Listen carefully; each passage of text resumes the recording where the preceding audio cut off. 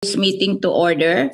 Uh, I wish to acknowledge the presence of Senator Amy Marcos in order of arrival, Senator Pangilinan, Senator Subiri, Senator Binay, and Senator Bongo.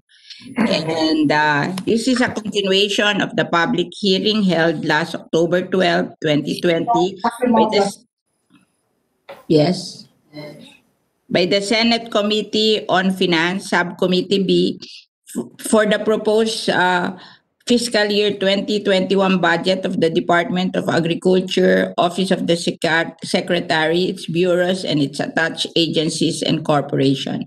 Today, we will be tackling the proposed budget of the Department of Agriculture Office of the Secretary, its banner programs, bureaus, and the Bureau of Fisheries and Aquatic Resources. Uh, I wish to announce also that in te- at 10:30 we will uh, we will break for a while so that we can tackle yung uh, Senate Joint Resolution number 12 authorizing the use of the excess collection of the Bureau of Customs for the year 2020 and 2019 under the rice tariffication law as cash assistance for the rice farmers to be included in the General Appropriations Act of 2021.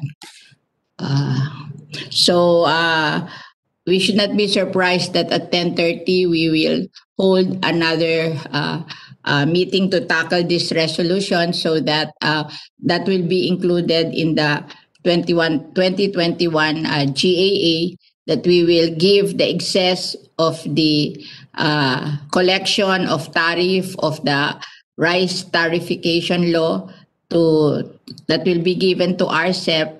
The excess will be used for financial assistance to our rice farmers. So that's it. So we will now start with the uh, proposed budget, 2021 budget of the Department of Agriculture. And so we have here, uh, we wish to acknowledge the presence of Secretary William Dar, okay, and uh, uh, Undersecretary for Policy and Planning, Rodolfo Vicera, okay, Undersecretary for Livestock, National Livestock Development Program, Dr. William Medrano, Undersecretary for Administration and Finance, Roldan Gorgonio, uh, Undersecretary for Special Concerns, Waldo Carpio, and Assistant Secretary Designate for Planning, Project Development, Concurrent Director, Planning and Monitoring Service, Agnes Catherine Miranda, Assistant Secretary Designate for Operations, Engineer Andrew Villacorta, Assistant Secretary for the Visayas, Attorney Hansel O. Didulo, Assistant Secretary for Special Affairs, Larry A. Panes, OIC Director of Agribusiness and Marketing Assistance Service, uh, Ramon C. Yedra, represented by Rowena Hinete. Okay, uh, Chief Budget Division, Telma Tolentino, uh, Senior Special Technical Assistant, National Corn Program, Dr. Lorenzo Caringan, uh, Officer in Charge Program Director, High Value Crop Program, uh, Nichols A. Manalo. Uh, why? What happened to Mrs. Lavinia? Uh, can you, uh, what happened to Mrs. Lavinia, uh, Dr. Dar? Secretary Dar? Hindi tayo madinig? Nakaano po tayo? Secretary Dar? Opo, How- ma'am. Ah, Nandito si Yusek Labinia at uh, she is the Yusek for high value crops. But what do you uh, mean by officer in charge? We have another one in charge of high value crop o assistant na Yusek Lavinia? Ito yung program director ng high value Ah, crops. okay. Hindi siya OIC po. Okay. Uh, Director National Organic Agriculture Program, Bernadette San Juan. Uh, Program Management Director, Rice Resiliency Program, Dr. Dionisio Alvindia. and uh, Program Director, Special Area for Agricultural Development, uh, Dr. Meyer Mula. Philippine Rubber Research Institute, Dr. Dennis Palabrica. Uh, OIC Director, Internal Audit Service, Attorney Joan Hagonos Oliva. Head ASEP Program Management Secretariat, uh, Attorney Jane C. Bacayo. OIC Director Information and Communication Technology Service Honorio Flamenio and Head Agricultural Competitiveness Enhancement Fund Program Management Secretariat Attorney Jane C. Bukayo and uh, Director Agriculture and Training Institute Alfred S. Aton. Okay.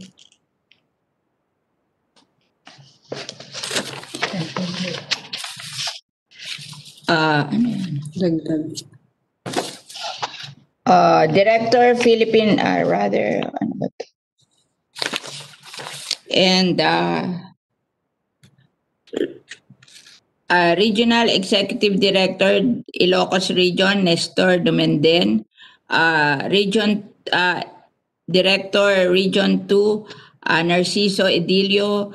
Director, uh, Region 3, Crispulo Bautista Jr., Director, Region 4A, Arnel V. De Mesa, uh, Director, Western Visayas, Region 6, Remily Ricoter, uh, Director, Region 7, Attorney Salvador Diputado, Director, Region 8, Angel C. and Angel C. Enriquez, uh, Director, Region 9, Radan Sidenio, Director Region 10, Carlin Collado, and Director Region 13, Caraga, Abel James Monte Agudo, and Regional Director Region 5, Rode, Rodel Tornilla, Assistant Secretary for Finance, Attorney Francisco Villano, Undersecretary for High Val- Value Crops and Rural Credit, Evelyn Labinya,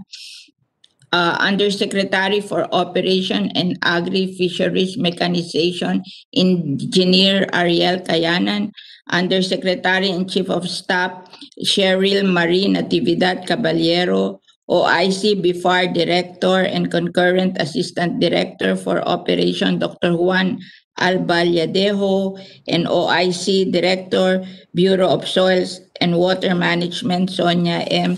Salguero, uh, Director, Financial and Management Service, Miriam Roberta Cornelio, Assistant Director, Bureau of Agricultural Research, Digna Sandoval, Assistant Secretary Designate for Policy Research Service, Noel A. Padre. Okay, so that's it.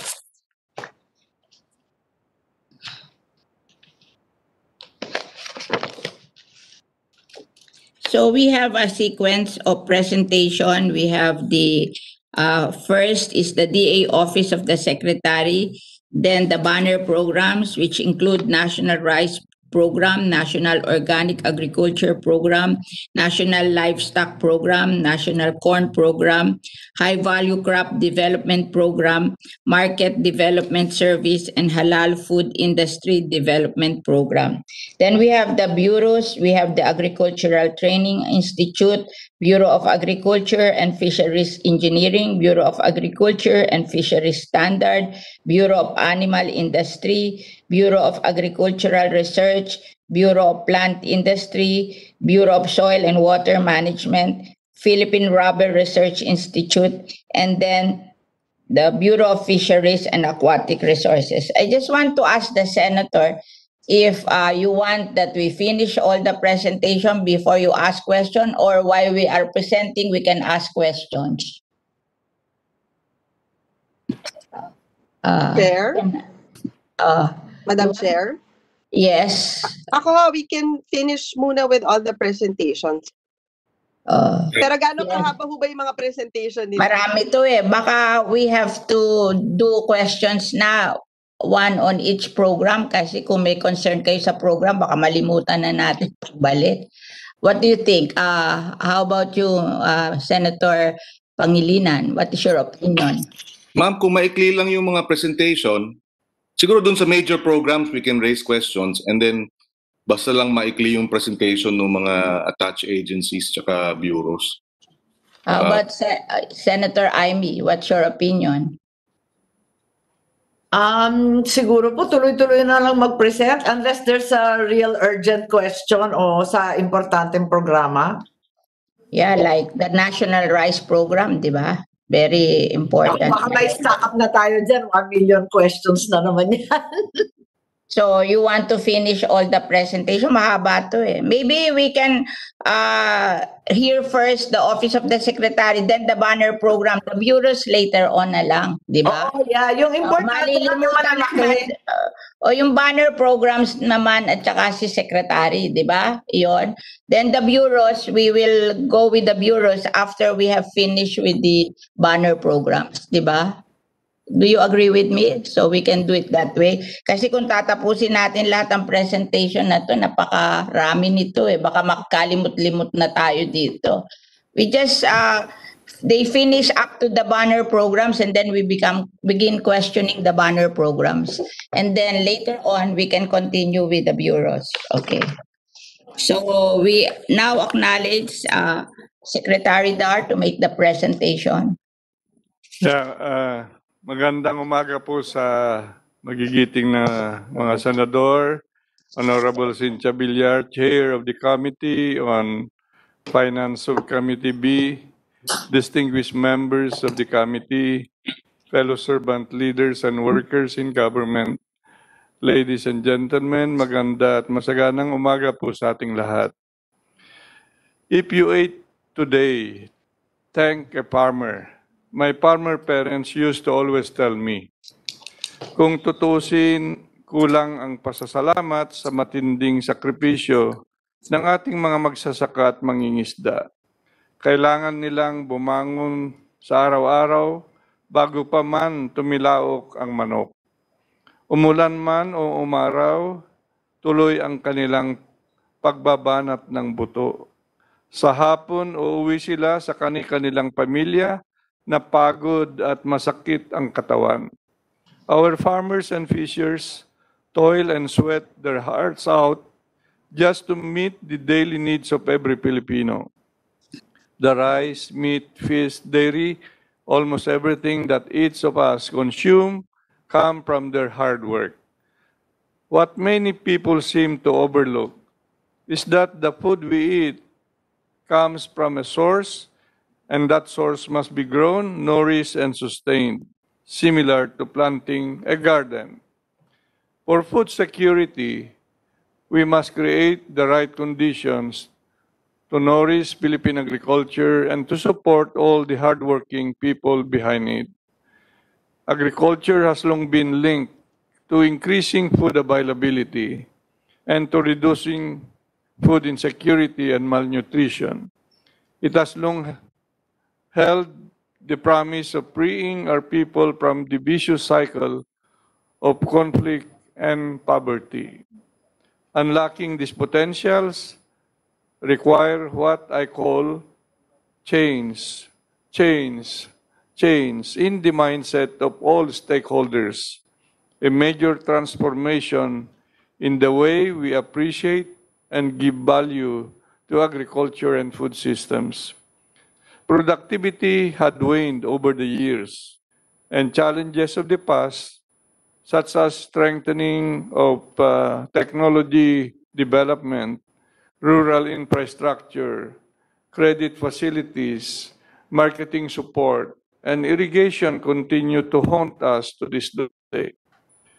The advent of climate change and increased global competition makes more Filipino farmers, fisherfolk, and agripreneurs most vulnerable, making them less food secure and less able to compete. Then came COVID-19, which placed tremendous pressure on our food production and distribution systems as it did globally. The magnitude of our responses must therefore match the scale of these challenges. They should be comprehensive, science-based, inclusive, and innovative to allow us build efficient and resilient food production and distribution systems to feed our growing population now and in the future. Madam Chair, the call of the times is clear.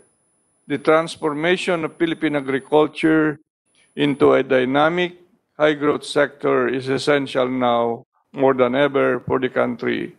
It is the surest way if we are to speed up our economic recovery from the pandemic and achieve a meaningful poverty reduction and inclusive growth. I'm thankful that despite the social paralysis and economic slowdown the pandemic has wrought, the agriculture sector remains resilient, even growing a quite surprising 1.6% in the second quarter of this year.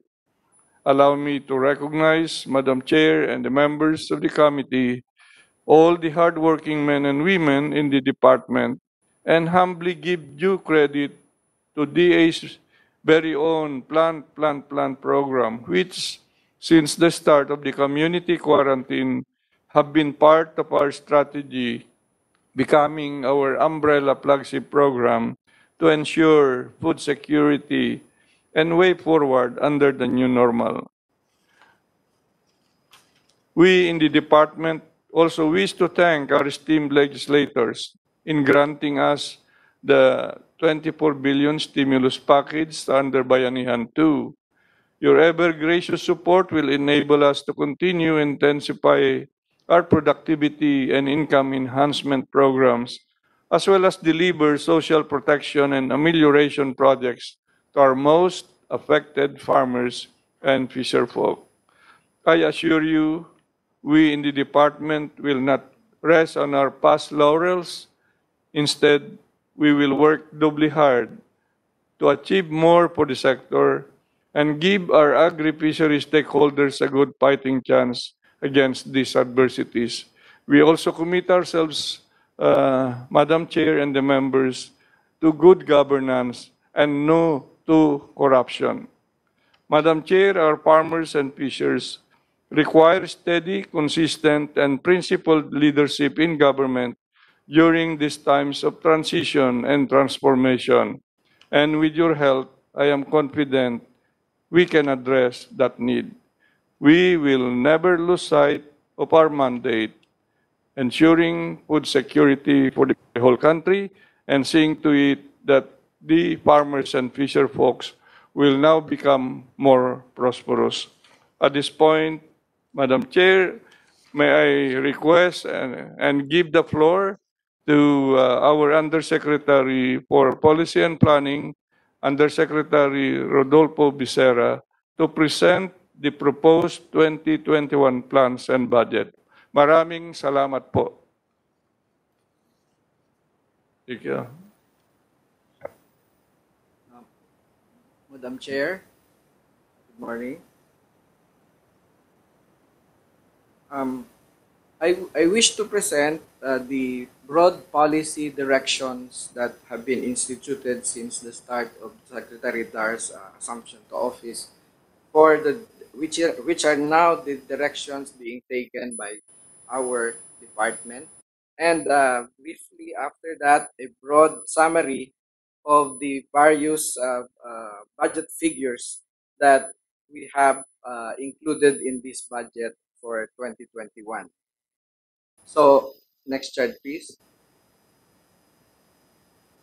Uh, just a brief description of where we are. We are happy to note that this year, for the first half of the year, we were able, the, the agriculture sector was among the encouraging, uh, I mean, posted a very encouraging figure in terms of the entire economy. We grew up 1.6% in the first half of the year, even with the net uh, losses of 5.4 billion uh, due to the Taal eruption and the onslaught of typhoons in the first half of the year. And uh, 1.6% uh, really uh, is uh, remarkable in the midst of the effects of the COVID pandemic, uh, which has impacted very difficult, I mean, very grossly uh, negative uh, for the other sectors. No? And uh, next chart, please. This actually showed that uh, the pandemic has uh, mildly affected uh, the employment uh, in the sector. Okay, we had some uh, reduction, but it's only 3.5% as compared to the other sectors, industry and services. And so our broad direction is how to interlink some more with the other two sectors to be able to at least assist them in, in, in further growing the economy and uh, ab- uh, absorbing uh, part of the uh, dislocated uh, jobs from the other sectors towards the agriculture sector. Next slide, please. This the next chart will show you the broad policy directions that have been introduced since the new administration in the in the uh, department came in. We would like to highlight that uh, in terms of vision, okay, we are looking at a food secure and resilient Philippines with prosperous farmers and fishers. Really, the difference po between this vision and in the past, ang focus po kasi ng visions that have been uh, uh, introduced has, has been on productivity. But this time around, we are very emphatic that the vision includes also the incomes of farmers and fishers. And in this uh, uh, framework that we are now showing you, meron pong napasingit na very urgent matter because of the COVID pandemic. And that is that two lanes, la- layers there, the survive, reboot, and grow, which is our, uh, which now comprise the re- response of the department for the COVID uh, uh, situation, scenario. And we need to still protect our product production, the availability of food, accessibility, affordability, price stability, and uh, sustainability and food safety. But that does not forget the main vision that the secretary has brought in, which now comprise of what we call the eight paradigms. Uh, farm consolidation, modernization, industrialization, uh, export promotion, infrastructure development, which I will briefly uh, explain in the next few slides, Your Honors. Next slide, please. So, this restates our vision now for the department. We want a food secure and resilient Philippines with prosperous farmers and fishers. And the mission is to empower farmers and fisher folk through collective action and attract private sector investments with uh, inclusive agribusiness towards agriculture, agricultural uh, efficiencies, productivity, sustainability, and resilience. At yan po sa kanan, you'll still see the eight paradigms, which I will briefly describe in turn po. Next chart, please. Modernization focuses really on improving the farmers' methodologies, no? How we can get them to adopt a set of science-based farming practices and good agricultural practices so that we can promote better productivity. And uh, below are some of the things that we will work on in the various programs. Next chart, please. Next chart. In terms of this focus on industrialization, uh, we are looking at how to promote entrepreneurship, how to bring in the techniques, management techniques, and organization to be able to make our farmers more productive as groups, as uh, and and manage their value chains. Next chart, please. In terms of export promotion, ito po ay isa ring very important aspect that we long to be able to do, improve our competitiveness. Uh, the, the focus on this is to raise, that the reason why we're also focusing on this is we should be able to raise the standards and quality of our product production systems. Nandoon po yung focus natin dito. so that anytime we are able to compete with other competitors in the other countries. Another major program now of the Secretary is what we call the Farm and Fisheries Clustering and Consolidation the of the department. Yes, sir. We call it the F2C2 uh, in, because we have seen this al- also in the various uh, experiences po ng ating mga successful groups. No? Uh, we have seen this, uh, uh, Madam Chair, in your own uh, uh, in your own program pagdating ko doon sa Villar Sipag Awards. We have seen that the moment our farmers and fishers group together, they're able to improve their systems and productivity and and, and, and they can really focus on the value chain approach. And uh, this is a, short description po of the uh, programs and projects that we have in this uh, under this new approach now that the department is, is following. We would like to see farmers clustered into a rice farmers, for instance, a minimum of 100 hectares, corn and the other grain crops 75 hectares, and then uh, for high value crops maybe a minimum of 50 hectares.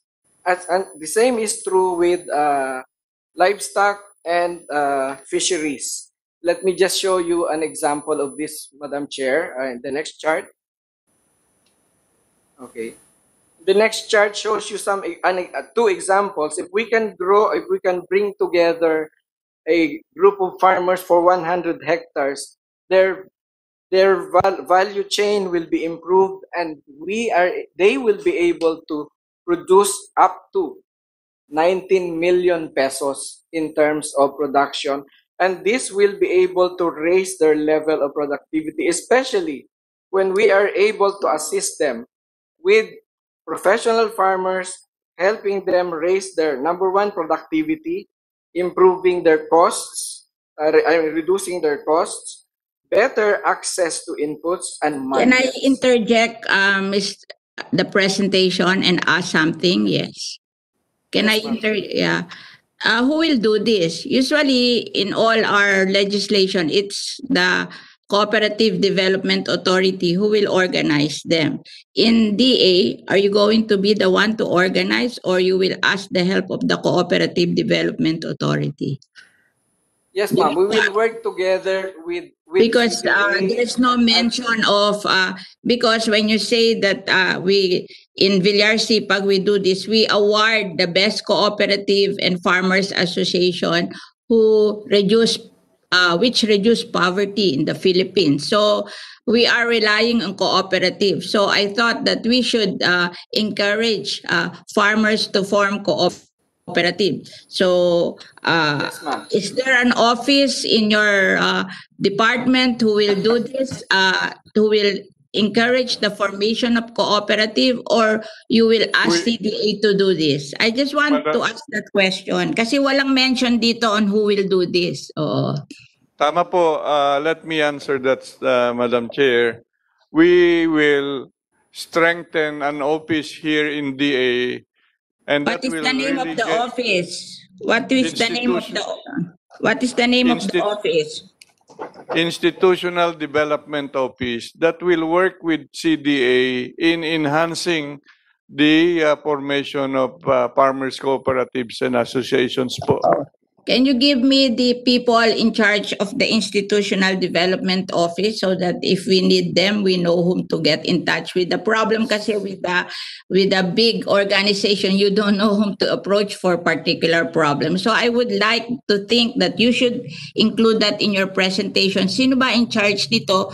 Para kami, pag maghahanap kami, alam namin kung sino ang pupuntahan. Opo ma'am, Okay, we will sige. give you ma'am.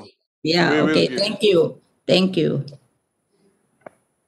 So, Madam Chair, just to continue, this also takes inspiration. For instance, po dito sa livestock, in one of the uh, cooperatives that is sa Villar Sipag Awardee, yun pong Pag- Padre Garcia in Batangas. Uh, yun po, this really takes inspiration from from uh, the programs that you have already in, uh, institutionalized. Uh, next chart, please. in next chart.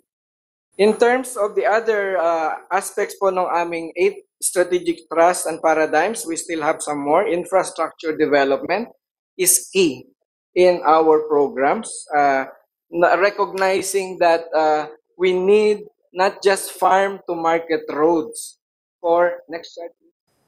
uh, for our farmers, but also processing facilities and equipment. And uh, the seventh and eighth uh, part of our road mapping uh, uh, of the road maps is, of course, increasing budget and investments. And when we are able to do this, we need to also not just increase not just the budget because medyo kailangan pong marami po tayong i-address. Uh, uh, our farmers are still uh, mostly into the in- under the poverty level and uh, we need also to in to link them up through this farm clustering and consolidation with investors. And then in the roadmap development po, we're now studying how to complete po yung road mapping for 56 different commodities in the uh, plant sector, uh, livestock sector, and fisheries sector. In terms of legislative support, uh, Madam Ma'am? Chair? Madam Chair? Ina, yes? Yes. Can we request lang po for submission yung 56 commodities na nabanggit nila? Okay. So Yes, we ma'am. asked the Department of Agriculture to see, to, to submit the 56 uh, commodities which they will support in their, uh, uh, they will give legislative, uh, rather their support in their national expenditure program. Uh, thank you very much, Madam Chair. We will submit that. Ang state po nitong road mapping, uh, road mapping exercise po namin is that we have already done the the value, I mean the mapping of the different products coming from each of these commodities. For instance po, yung coconut, hang- uh, we have mapped yung mga where it goes until the bu- buko juice and all the processed products na ganun. But we still need some more uh, deeper studies and we will need uh, your support po to complete this. Our objective po dito sa road mapping exercise is not just to do a one year, but medium term and long term development for each of these products. So medyo nasa beginning stages pa lang po yung aming nasimulan and we will be submitting to you the initial impact uh, if uh, output po namin na nagawa na namin. Uh, next chart, please. Uh, this lists down our priority legislative agenda in support po of the legislation of the the legislation that have been passed already and the, the new agenda that we're com- that coming out that the Senate also may have already sent uh, I mean uh, presented ano uh, number one po sa atin uh, is uh, I I'm showing here in this list is yung Coconut Farmers Industry Development Trust and we support po your your directions in this. Then Uh, may I interject? Uh, we have passed the Coconut Farmers and in the in Industry Development Trust Fund.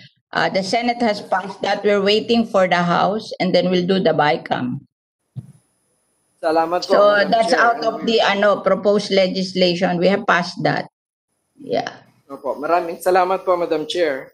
And And the land, course, the National rest- Land Use Act is with DNR. It's not with agriculture. Uh, we support lang po. I mean, uh, support po ito because it will help us in the sector, in, in the agriculture sector. Uh, gusto ko lang pong i-highlight po ang dalawa pong item dito, tatlo siguro. Magna yun? Carta for Young Farmers. We have a, a- a- we have a legislation for that. I think it's just an amendment. I think we have passed a leg- legislation on young farmers. You look for the po. legislation. Yes, ma'am, we Okay. will closely work with your staff for this, ma'am. And then In the pong ano- agri-agra law, we have problems with that. We don't agree in the agri-agra law. So we're holding it because uh, we don't agree uh, Okay, ma'am. on how we will uh, revise the agri-agra law. Okay. We will closely work with your staff, Madam. Actually, in the agri-agra law, the agri part is okay. The agra is the one with problem because they have no no uh, what you call this uh, titles to to use as uh, collateral in the banks. That's why the DAR has now uh, uh, programmed the the titling of agricultural uh, under the agrarian land reform. Uh, uh, they what's the name is sleep sleep program uh, something like that. Uh, and it was financed by the World Bank. So uh, we we ano that yung meron na sila diyan sa what you call this uh, yung problem ng agri-agra. They're ser- they're solving that because they're now titling individually ah, yung titles ng land reform beneficiaries. Kasi ang may problema, agra, hindi yung agri. Yes, ma'am. Thank you very Okay. much, ma'am, for the guidance. We will consult with your staff, ma'am, to, to finalize some more. If you you want rainwater, why don't you allocate a portion of your budget to rainwater harvesting? Uh, we don't We have to will. pass that. You just allocate a portion of your budget. Oh. We will, ma'am. We will. We will, ma'am. And In urban agriculture, you allocate a certain portion of your budget there. Ang bamboo Yes, we industry, the DNR is allocating a big part of their budget under the greening program. Okay. Yes, ma'am. So, uh, thank you very much, ma'am, for the guidance, and we will consult some more with your staff para We have passed the Organic Agriculture Act. So we have finished that. It has been passed. It will be signed by the president anytime now.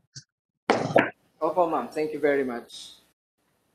Uh, next, going to the next chart, this now uh, summarize provides a summary of the budget proposal that we have, ma'am.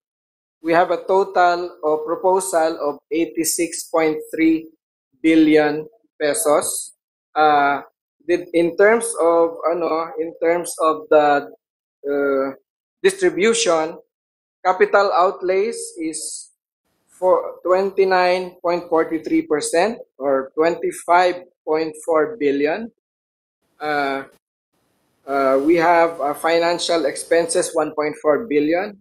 MOOE is six uh 55 billion or 63.75 percent. Capex, I, I mentioned that our MOOE, uh, I mean, the PS is uh, 5.9 billion pesos. Next chart, please. This is now the distribution by programs, by projects, and by agencies. Po. In terms of the programs, we have seven banner programs. Uh, Rice gets 15.7 billion. Livestock gets 1.1 billion. Corn gets 1.4 billion, 1, 1.5 roughly. High value crops gets 1.6 billion. Organic agriculture will get half a billion pesos. And fisheries will get 2.9 billion. Halal continues to receive po uh, roughly 23 billion. A million, million, sorry. May So, I the total- interject? May I interject, please? Yes, ma'am. Uh, yeah, this fisheries program, is this different from the budget of BIFAR? It- it's the same, ma'am. So It- it- it's it is part, included in their activities. So they have a budget of a little less than 6 billion. This is included there? Yung fisheries program mo? Or Yes, this ma'am. is additional budget? No, this is included. Attribution lang po Okay, ito. okay. Yung rice program, this is an addition to RCEP of 10 Yes, ma'am. billion. So, Yes, ma'am. parang ang rice program natin, 25 billion na. Roughly, yes, ma'am. Yes. Yeah, that's true. And then we have a 7 billion budget in NFA. Okay? So, so your program now has 30, more than 30 billion for rice. Yes, ma'am. Okay. I just want to clarify. Oo. Opo. Next chart, please. These are now also uh, presenting the projects naman po. Uh, we have 9.958 billion for FMR projects. We have uh, the special area for agriculture development, uh, 1.5 1.365 billion. We have the fourth case program for the kabuhayan at kaunlaran ng mga kababayang katutubo, uh, Uh, may I question? Uh, are you going to explain that SAAD program afterwards? Mamaya po, ma'am. Okay. Yes, ma'am, mamaya. This will be part of the ano, process. Can I correct that? That's. RCEF with an F, not uh okay. Okay. Program po kasi, ma'am. It's Yeah. oh. program. That's, the funding is RCEF, pero, ah, but the program is ito po, ang tawag, RCEF. And then, uh, RSBSA updating po, as you see here, we have provided uh, 220 million, although this is uh, quite a reduction from last year. Uh, Balik Provincia, uh, we are uh, in, we have included some 500 M for this to assist po in that uh, program para maging partner po din kami sa employment process dito. And the PRDP has still uh, new funding with worth 576 million. Uh, it's there, but this is still a reduction, 75% reduction from last year. Next chart, please. In terms of the distribution din po of this budget, uh, in the department, uh, we have uh, the OSEC receiving uh, an increase of 7.92%. Uh, all, roughly 7% to 56.8 billion. The ACPC gets 2.3 billion but this is uh,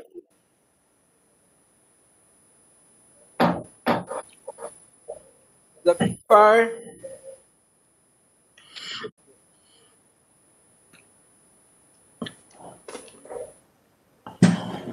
has 4.6 billion. The FPA 156 billion. The million million sorry. The NFRDI 290 billion. NMIS gets 444 million.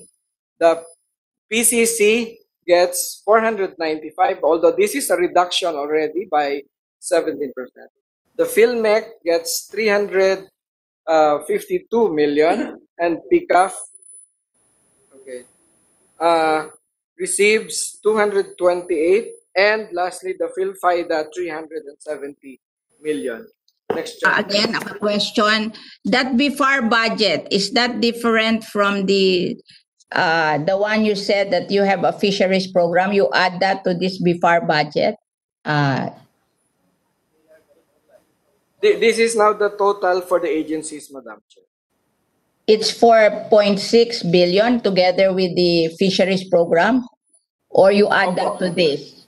Parang mali Ito yan. na po eh. yung budget, including... Parang mali yan.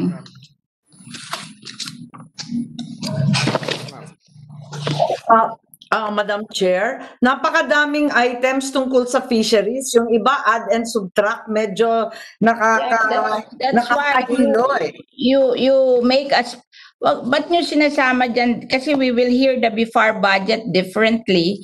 So sana, pagsamasamahin nyo yung BIFAR under this, para hindi tayo nalilito. Kasi, Ito lang, as I remember, ito lang po yung... uh, BIFAR has a 6 billion budget. Kasama na lahat. So, nagtataka ako, parang dito, hindi yan 4.6, ha? Opo, if if I may add, yung meron siyang 27% reduction from last year sa BIFAR, pero may program sa OSEC, mayroon rin Fisheries Development Authority Oh. na almost 300% increase, may National Fisheries Research, Tago eh. Tapos meron pang Fisheries Regulatory and Law Enforcement na bumaba naman. Kaya medyo nahihilo ako, saan ba direksyon natin sa fishery? Parang Hindi, dapat tanggalin nyo baba, na dito all yan. over the place. ah, I want all the the fisheries budget together so we can discuss it together. Bakit nyo ba pinaghihiwa-hiwalay? Nililito nyo kami eh. This is just the broad overview for the department. The No, attached no, we're, agencies we're getting implement. confused. Because there is a separate hearing for the Bureau of Fisheries and Aquatic Resources. Pagsamasamahin nyo doon para naintindihan namin, huwag nyo kami guluhin. Salamat po, ma'am. We will do Kasi that. may major findings dyan sa BIFAR eh. They haven't done any program for the fishermen.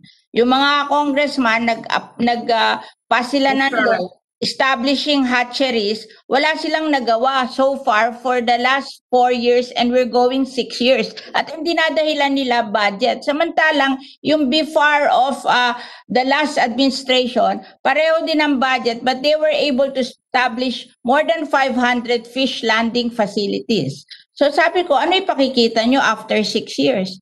Kung yun lang pinasa ng mga congressman na hatcheries, na mabuti nga interesado yung mga congressman sa fisheries, bihira naman ang congressman mahilig sa agriculture, eh ba't hindi nyo pa i-build para ah, meron naman kayong performance na mapapakita sa pag-alis nyo ng pwesto, di ba? Yun ang question ko sa kanila. Because the last administration, they were able to build more than 500 fish landing facilities all over the Philippines. In fact, pag kuha mo ng picture na doon lahat sila, pare-pareho kulay nila. E ba tayo, yung uh, pinasa pa ng Congress na hatcheries, wala silang Next nabibuild miski isa. Oh. Yes, Madam Chair. Madam I'm Chair. very interested in a BIFAR budget separately together. Lahat ng ano nyo sa BIFAR, pagsama-samahin nyo doon at pag-usapan natin BIFAR separately. Opo, Madam Chair. Kasi ang nababasa ko, pito yung item na may kinalaman sa fisheries, may aquaculture sub-program, may fisheries regulatory, may fisheries development, may fisheries research, may ah, karugtong pa na Philippine Council Agrofisheries, tapos may OSEC program, tapos may BIFAR. Apakarami eh. Ewan ko bakit sinapchap po nakakahilo at yung iba dagdag, yung iba bawas. So, hindi ko mabasa saan ba direksyon natin. Are we investing so that we stop uh, importing even galunggong? Or are we uh, giving up on fisheries because there's a 27% reduction in BIFAR? I, I'm a bit lost po. In addition, uh, Secretary Dar, in 2016 or sometime in the beginning of your term, we passed the ano, the IUUF. Uh, rather, during the time, the previous administration, we passed the IUUF. The assurance with me to pass that IUUF, you will increase your uh, income from regulatory uh, to 1 billion pesos a year. But what happened? Uh, it's more than 100 million during that time. Now it's less than 100 million. So, imbis na nag-increase, lalong bumaba yung regulatory. So, ah, so nagugulat kami na after passing IUUF, lalong hindi na regulate ang ah, fishing in the municipal water. So, medyo malungkot tayo sa fisheries. Oo. Ayun na ayon pa sa budget nila, may decrease yung fishery regulatory. Mas lalong hindi makakakolekta to kasi yung 1.7 naging 800 na lang po. But, but they have income in regulatory, ha? And they are not Madam- declaring it. They are not declaring it. Oh. Where did they Madam bring it? Chairman, Oh. Madam- Chair? Madam Chair? Yes. Madam Chair, In a few minutes we'll be taking a break. Ah, magta 10:30 na ho eh. Baka pagbalik natin, pwedeng ayusin muna ng BA at mag-consolidate nila for fisheries para pagbalik ho natin, eh, Yeah. ma-present nila yung bagong kwenta. sige po. Oh, Sige yes, po. please. Yes, please. Oo. Kasi very concerned ang mga legislators sa fisheries eh. Sige Which po, good. uh, Madam They're Chair. interested in fisheries. mo, Uh, last slide na lang po. Uh, Yeah, okay. We finish and then we transfer to that ano uh, uh, that uh, hearing on uh, FA. yes, ma'am. to farmers, financial assistance to farmers. Okay, go ahead. You finish. Uh, Yes, ma'am. Opo. we will try to come out with a summary figure po for the fisheries. And uh, thank you very Next chart, please. Next chart. Ito na, po, ito na po ang last chart actually. Magte-thank you lang po kami that we have uh, at least give you, given you a brief description and a broad overview of our budgets and plans for next year. Maraming salamat po, Madam Chair. Madam Chair, maraming salamat. Ayusin namin yung data ng fisheries para minsanan na lang natin pa i-evaluate po. Pakiayos na ninyo. For an hour, maybe the uh, budget hearing of the Department of Agriculture, so we can transfer to our uh, hearing of the resolution that provides that we give the uh, excess of 10 billion na sa rice tarification to cash assistance for the rice farmers. So, uh, can you join me also in that hearing, uh, uh, senators? Because we need your uh, Do we approval. lag out or do we stay here? Do we lag? Out? Lag, maglalag out tapos Magla-log out daw, tapos magla-log in where? Same? Same login, ho? nasa email. Uh, uh, can you- I, I, I can read. it. new. New daw, ma'am. Alam New- nung taga, na taga Senate po. Ah, alam Okay. ang Okay. sa ano Committee legis- secretary. mi- as ah, ano yung Committee committee secretary can you ask the committee secretary where you will log in but I will ano pwede ba i-read mo kung ano para baka mahirapan Hindi, sila Madam Chair, okay lang ho kasi pag in-announce nyo baka kung sino-sino yung mag-log okay in. sige sige okay okay okay so we transfer thank you Okay. very much Thank you.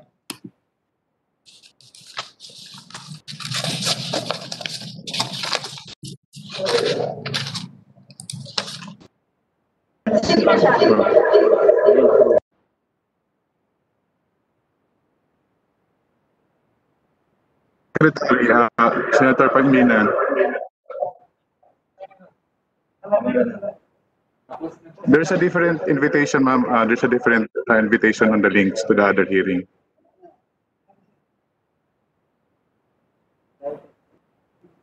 Hindi, papasok na mga Bakit?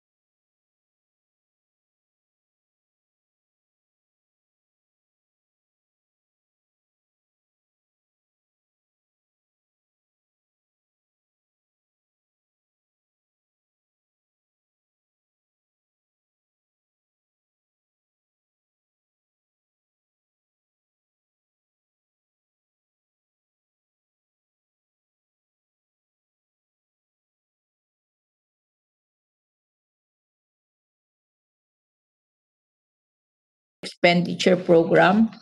Okay, we we acknowledge the presence of uh, again of uh, Senator Amy. Are they all here? Senator Kiko and Senator Binay. Nandito pa ba si Senator Binay? Okay. Meron siyang Amy, were you saying something to me before we transferred? Hindi, dadagdag ko lang dun sa joint resolution shall be automatically appropriated. Ah, So, yun kasi eh. natin. Oo, automatically na lang. O sige, we'll in- include that. We, Ah. there's no ano naman that eh. There's a committee report. Okay. Oo. So we'll include that. Tawagan mo si Reggie para ayusin niya yung wordings. We will uh, do the wordings and then we will send it to you for comments para ma whatever I overlook you will look into it so we will not be uh, hampered in the future. Okay? Yes, ma'am. Ma'am, ma'am pa-check lang yung uh, latest uh, Supreme Court ruling on joint resolutions. Uh, baka dapat Bakit? baka dapat batas.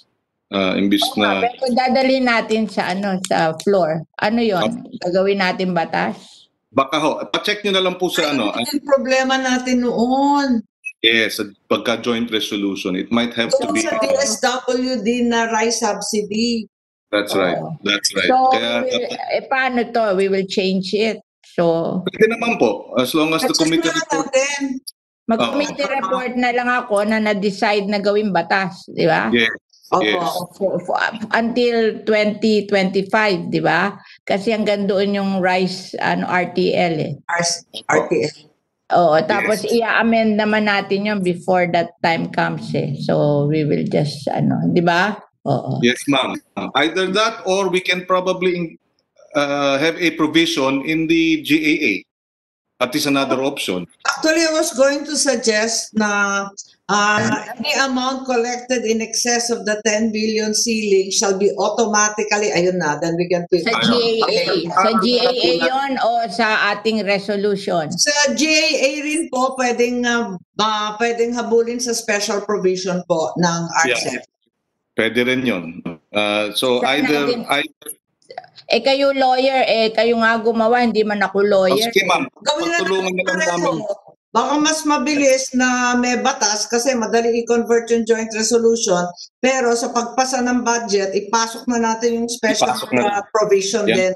Uh, para dalawa. Pwede naman yun ma'am. So I will call you ah with Yes, my ano with my staff para gawin niyo yung how we will do. it, Ha? Yes, ma'am. Ang importante nag-hearing na tayo kasi they said we have to hear it eh. Oo. Yes, ma'am. That's right po. Oo. Yun yung hinihirit ko kanina, kaya lang uh, hindi ako nakahabol. Oo. So yung committee report na lang natin. Anyway, tayo naman na nag-hearing, di ko ano pirmahan natin doon, di ba? Yes, ma'am. Yes, ma'am. Okay, sige. Thank you, Madam Chairperson. So, tawagan mo na si ano para mag-coordinate sa kanila. Si ah,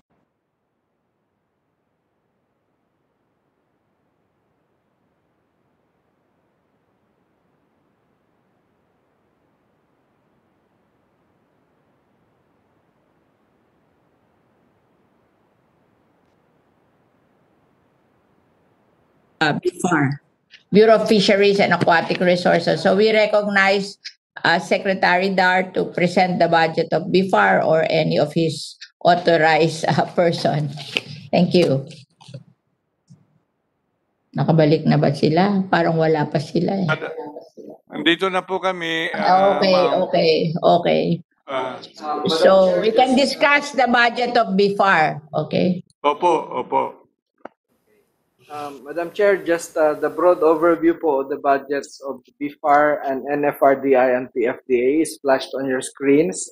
Yes. Uh, ayan po. Yung pong first column uh, is a description of the amounts uh, ng last year, uh, for this year.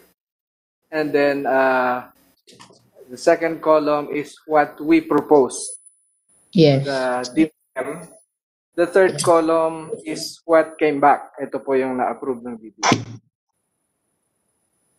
So ito pong third column ang nandyan po sa EP. So total for BFAR as discussed a while ago was 4.6 billion with uh, Ah. and, and part Not including the National Fisheries Program. Iba po yun. Ah, not Okay, so that's what. I'm asking. Oh. And then, Ay, kasama daw po. Kasama si NFR. Ha?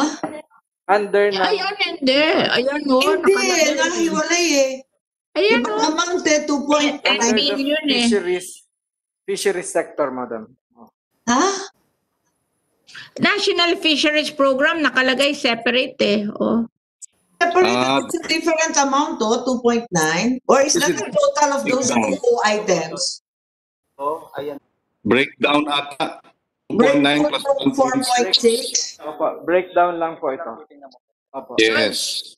Eh, but ang total, ah, so 4.6 at saka 5.1. Yes, ma'am. And 290 million. Ba't nag-add gawain ng 290? Oo. So, 5 plus. so, so what is that National Fisheries Program? Uh, Madam Chair, uh, yes, Madam Chair, may I be recognized? Uh, Yes, Yusek Ching oh. Caballero po. uh, Oh. Yes, ma'am. Uh, this is under the uh, BFAR po, yung National Fisheries Program. Oh, what is that? Uh, this is the, uh, Explain the Uh, breakdown of the budget. Uh, this Okay. BFAR na 4609, tapos National Fi- Fisheries Program, tapos yung regular program na 1.66, at saka yung NFRDI, at saka yung PFDA. Oh, you explain. Thank you, Madam Chair. The Bureau of Fisheries and Aquatic Resources uh, has to uh, has rep- uh, presented a total budget of four billion six hundred nine million eight hundred thirty three thousand, uh, which has uh, which is uh, broken down into two items. Item one is the National Fisheries Program, which covers po the operations, uh, net of uh, personal services, uh, at two billion nine hundred forty three million 3 billion. 341,000. Oo. Yes, ma'am. Kasama po Oo. dito sa regular program ay ang 1 billion 666 million 492,000 pesos for gas, STO, and uh, personal services. Uh, kasam, kasunod po nito is uh, an attached uh, agency again, the National Fisheries Research and Development Institute, which primarily focuses on R- RD, uh, research and development, uh, under, under the fisheries sector, with a uh, total budget of 290 million 857,000. Mhm. Uh, under, ang kasunod naman po dito ay ang Philippine Fisheries Development Authority, which is basically the infrastructure arm of the uh, fisheries sector, with a budget of 5 billion 163 million 975,000 pesos. What do they build? Ang total, Uh, What do they build? the- Oo. they, they build po the uh, fish ports, fish landing. Uh, Ah. fish landing is built by BFAR. Fish ports is what they uh, focus on, including po the cold storage facilities. Uh, this Gotcha. includes. Oh, can you uh, give us a breakdown of what they're going to do with their 5 billion budget? Yes, Yes, we're, ma'am. we're quite, we're Budget quite laki-laki ha? We're quite concerned because uh, you're giving them a very large increase of 75%. And uh, in fact, there have been so many complaints about the fish ports that are in the wrong place and were politically uh, assigned, and also cold storage plants that are not being managed or operated at all. Yes, Madam Chair. Uh, if I may be uh, recognized po, uh, this includes uh, with that budget, they uh, plan to implement 142 fish ports under the rehabilitation program, improvement and upgrading. Uh, Hindi, ang and this will problema also- kasi, ang problema kasi, ah, maybe dapat may evaluation ng program na yan eh. Kasi maraming kapalpakan na rinireport. Halimbawa sa Zamboanga area, kung saan yung sardinas, wala naman daw silang cold storage at shared facilities. Samantalang ah, sa amin, kung saan na ubus na ubus na yung isda, pinagpipilitan na maglagay ng mga fish port na hindi kailangan at ayaw ng tao. So maybe you give us a list of this and we will, this will be subject to, ano, uh, we will look into this and this will be subject to, ano, to realignment. Kasi ang Yes, laki-laki. Madam eh. Chair. We will Ang laki-laki. eh. Oo. Ay nakakapagtaka. Oo. Tapos may budget pa rin. Asan yung Fisheries Regulatory and Law Enforcement? Meron rin yun eh. Dati 1.7 billion. Di ko na makakita. Pero ngayon nakita ko nasa 800 na lang. Wala ba Oh, dyan? the, the 800 is their PS. The 800 Madam is Chair. their PS. Oo. Yeah, Madam Chair, may I be recognized po? Yes, okay. Ah, yun, yun pong ah, tungkol po sa regulatory, it's under the Bureau of Fisheries and Aquatic Resources. The one, ah, that's the regular mandate po. The other Mm. one So you're, you're talking about- saying, okay, you're saying yung um, Fisheries Regulatory, kasama na siya sa budget na 4.6? Yes. Yes, ma'am. Yes po. PS eh. Ah. yung 803 is PS. And And then, the rest are MOOE. I see. Tapos the eight, yung collection niyan, Saan dinadala? May provision yan kung saan dadalhin, di nila nire-report eh. at may collection Pero- niyan eh, nasa 83 million ba yon? Opo, we, we, we will comply po doon sa mga inquiries, ma'am. Uh, the breakdown as to where the uh, construction project will be going under the PFDA. And number two, yun pong uh, kung saan napupunta yung collection under the regulatory function ng BFAR. Oo. Year na lang, kapag binigay lahat ng perang yan, talaga bang hindi na tayo mag-import ng galunggong kailanman? At saka we are going to look at that PFDA kasi ang laki-laki na in-increase. Eh baka kung saan-saan lang nila dalhin. Samantalang, yung Almost mga, 300%. yung mga hatcheries na mga congressman na pinasa pa nilang batas, hindi na i-implement. So maybe doon yung dadalhin some of the money kasi nakakahiya, nagpakahirap na ipasang batas pa, kami at saka Senado tapos walang na-implement. There are 61 of them. Madam Chair? Yes. Ma'am, we will recast the budget po to uh, uh, include the uh, provision for the uh, new hatcheries uh, that has Yeah. been uh, 18 hatcheries uh, to be exact, Madam Chair. No, no, it's 42 42. plus 21. Ipapasa namin yung 21 eh, napasa na yung 12 eh. Pinakukonfirm lang yung lugar nung natitirang ano eh, 21 minus 12 eh. Ah, that's 9. Pinakukonfirm lang yung lugar ng 9 para wala na tayong argument kasi sasabihin nyo, it's not feasible. So ginagawa na natin feasible but I told you on November 9, we will pass it. November, kinuha ko na yung date eh. Na we will go back and pass it. So you have 61.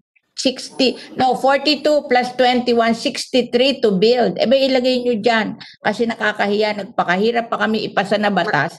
Tapos ayaw ko Chair? implement. Oh, yes. Madam yes, Chair? yes, Madam Chair. We we will confer po with your uh, technical staff on this and uh, we will Yeah, present uh, 61, recasted budget. 61 hatcheries. Buti nga mahihilig yung mga congressman sa sa agriculture. Otherwise, nandun lahat sila sa DPWH eh. Oh, Madam ito- Chair? Yes, Oh, Madam yes. Chair. Yes. Madam Chair, pwede for submission na lang ho kasi nabanggit niya kanina 142 fish ports yung Yes, for nga nila. repair. Pero for repair. Ba't pa Oo nga, i-repair yun? Bigyan na lang na equipment, wag na i-repair. Ano ba i-repair doon? Yung mga simentado naman yun. Nakita ko mga pictures eh. Ay, yung iba, marami po hindi ginagamit. Oo, lagyan na lang na equipment. Ba't ba i-repair yun? Kahit mo i-repair walang equipment yun, hindi rin magagamit yun. Uh, thank you, Madam Chair. May, may I be recognized po? Yeah, yes. Yes, uh, Madam Chair, the other fish ports po kasi is in compliance with our uh, IUUF, yung illegal, unreported, unregulated fishing. And uh, because we are exporting some of our uh, catch, we would oh. need po a very uh, reliable and uh, I don't think it's Uh, the building that is the problem. I think Wala it's naman the tao doon, equipment. nakatiwangwang lang yung semento. Paano ninyo kukulihin? Oh. sige, Madam Chair, we will we will uh, Ako recast we Ako, po with Para kang. NIA, puro repair. Imagine ang NIA, puro repair. Kalahati repair, kalahati ang bago. O, sigurado ka ba doon sa repair na yun? Ako hindi ako naniniwala sa repair. Bago na lamang para makita kung meron talaga. O, pinaltan ko yun sa NIA, ginawa akong 70-30. O. Yes, ma'am. Uh, we will confer po with your staff. Thank you po. Oh. Madam Chair, So, so I think you should, uh, teka muna, liliwanagin ko lang dito. You have to build that 61 hatcheries. Nakakahiya. Pass pa yun in 2016 yata eh. Wala pa kayong nagagawa. Laki-laki ng budget nyo. And then we will review this PFDA na to kung ano gagawin dito. Hindi pwede yan. Oh, tapos sabi nyo sa akin, hindi nyo magawa yung fish hatcheries kasi hindi nyo pat, pa, sa subcontract nyo pa yung study. Eh meron kayong FRDI na may 290 million budget. Hindi ba yan ano yung research? Oh. Ba't nyo pa ipasa-subcontract yung, yung feasibility ng fish hatcheries? Eh meron kayong FRDI.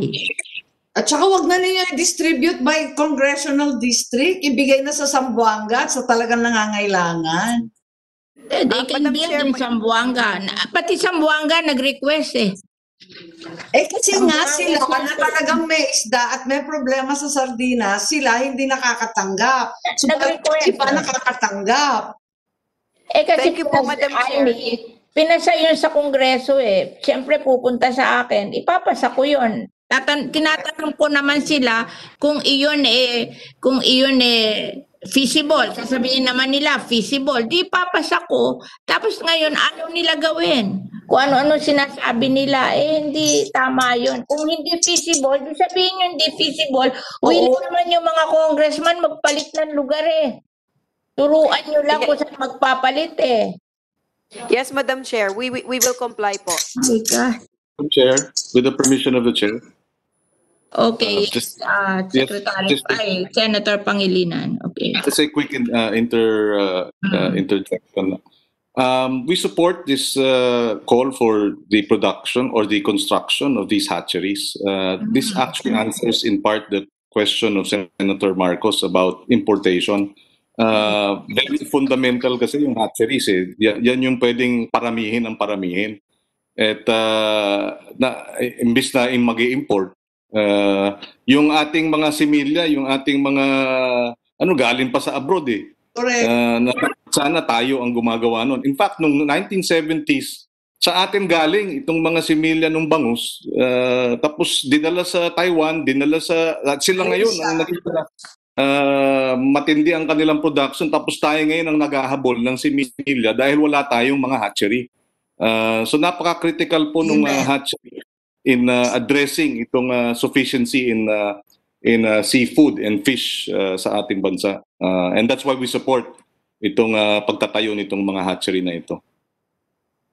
So, uh, we move that we review again the budget of the fishery sector uh, with the intention of them including in their budget the construction of the 21, uh, rather 63 uh, multiple species hatcheries, fish hatcheries, and crab hatcheries, which was passed in Congress and the Senate, which are a provision of the law that they be able to construct this during until 2022. So we we have to review so that we can realign some of the budget to those fish hatcheries. Okay, is that okay with you, senators? Yes. Yes, ma'am. Ivy. Amy, yes. Senator Amy, yes. Yes You're- po. Yes po. Oh, ano? So, ah, full support po. Full support. Okay, so we review. Maybe they can submit another Ma'am. budget. Oo. Mother, That is, yes, ah. Yes. Madam, Madam Chair, uh, we fully support, this is we, uh, Willie Dar, Secretary Dar. Yes. Uh, we fully support the construction of more hatcheries in the Philippines. Uh, the number you have mentioned is about 63. Sana po lang ang aming prayer lang ay masunod po yung uh, mga technical specifications Kas- kasi po ang hirap i-maintain ah, mas lalo na kung LGUs po ang mag-maintain. So ganun lang po. ah, we need to have 30 million per hatchery na multi-species and sustaining that over the longer term will be a challenge kung hindi Sabi nila kaya 20, mag-sustain. ngayon 30 na. Sabi nila 20. eh. Hindi po, 30 Sabi po yun. nila 20 million basta magbibigay ang local government ng lugar. Oo. Opo, O, basta- hindi kayo bibili ng 10 lupa. million na. Oo. Tapos ngayon Opo. 30 na. Nandi ko nga maintindihan kayo, paiba-iba kayo eh. Anyway, uh, the local government, for the information of Secretary Dar, they agree that they will follow what the BIFAR will tell them that is what is feasible. And the understanding is that you will uh, operate it for the first two years and you will Tama. teach the local government that they will take over after the second year. Oo, Opo. yung two years yung tuturuan sila how to do it and the local government will take over. At ang usapan, kung ayaw ng local government, huwag gawin. Kasi, di ba, ay, hindi pwede. Sinabi ko sa kanila, you have to agree and you have to give the land where it will be built. Ngayon, ang magtuturo sa kanila kung saan feasible, pi- payag naman sila na kung hindi pumasa to sa BIFAR, hahanap sila ng iba. 'di ba? Payag naman sila ng ganun eh. Pero- They just want a fish hatchery in Yes, their uh, district. Oo. So, Madam Chair. yes, yes. Opo, ah, again, another hearing. prayer. Oh. Another, another prayer po, Madam Chair. Uh, with the 63 hatcheries uh, already planned to be supported to be put up next year, the total budget needed here is 1.89 billion. That's So, why I'm telling them to prioritize this, remove some of them, and put it in the budget next year. Mag-giveaway sila do sa hatcheries. Yun ang sinasabi ko. And you, you gave 500 million in your bayanihan for hatcheries. So, kalahati na lang ang i-raise nyo. Di ba? 500 million yung naando sa bayanihan 2. Yes, ma'am. Oh. So Eh, we need wala, still, we oh. need still uh, O, di bawasan nyo to. 1.4. Di ask mo the Bureau of Fisheries, oh, katakot-takot to, 5 billion. Magbawas siya dyan. I-prioritize niya to, tapos, yung mga hindi maiwan dito, di gawin niya next year. Oh. Baka hindi naman importante lahat to eh. Oh. Katulad na Nabotes Fish Port Complex, 3 billion. Ano ba gagawin doon? Nagawa na yun eh. Ano na naman ang gagawin doon? I've been there. It's been uh, constructed. So, oh, I- Imo-modernize po yon. oo nga. Meron pa ba? Eh di, bawasan nyo. Sobra naman yung 3 billion. Kami nga sa Las Piñas, eh, senator pa ako, hindi ako nakahingi ng 3 billion eh. Oh. Hindi nga ako nahingi sa inyo eh. Swerte naman nila. I-prioritize nyo to at ilipat nyo doon kasi I think that's good for the livelihood of the people. Oh. Hatiin nyo yung iba dito. Baka hindi naman kailangan this year lahat to. Wala October Ah. 19 ang presentation ng PFDA. So we will expound it. Yeah. Ako, I have not, except that it was passed into law. Why will you not provide budget for it? Yung mga 63 na yun, pass into law yun. You don't honor the law. Why are we passing laws if you don't honor the law? Madam Chair, we will comply po and we will confer po with your uh, technical Yeah, staff. you, Salamat you po. revise your budget. Uh, it's not acceptable. It's not Yes, acceptable. yes, Madam Chair. I really believe that we should honor the law. And naglagay na kayo ng 500, dadagdagan nyo lang. Eh, ang dami-dami nito eh. Oh. Ma'am? Yes, uh, Secretary, ay, Senator Pangilinan. Yes, ma'am. Ma'am, uh, on a related matter sa BIFAR, uh, may we request a clarification from uh, Secretary Dar regarding the uh, revision of the guidelines setting uh, boundary uh, boundaries of municipal waters dahil uh, ang concern ng mga LGUs pagka naaprubahan daw itong proposed guidelines ay up to 50% ng municipal waters ng ilang mga LGU ay mababawasan at uh, mabubuksan sa commercial fishing. Uh, Guideline. Yes, uh, What is Uh, this guideline? We don't know about these guidelines. Yes, uh, Senator Kiko, as a matter of fact, that uh, there are already VMM and VMHS na talagang kinakabit na ng uh, BIFAR na rinereklamo ng ating mga fishermen kung bakit daw kinakabit uh, without any uh, consideration or consultation. Yung VMM, VMS are already being implemented uh, without consultation uh, with scientists or the locals. So in effect, all the uh, um, all the fishermen are in effect illegally operating since there's no proper delineation of municipal waters as Senator Kala ko ba stated. 15 kilometers from the shore? Di ba Yes. municipal water is 15 kilometers from the shore? Di ba yan?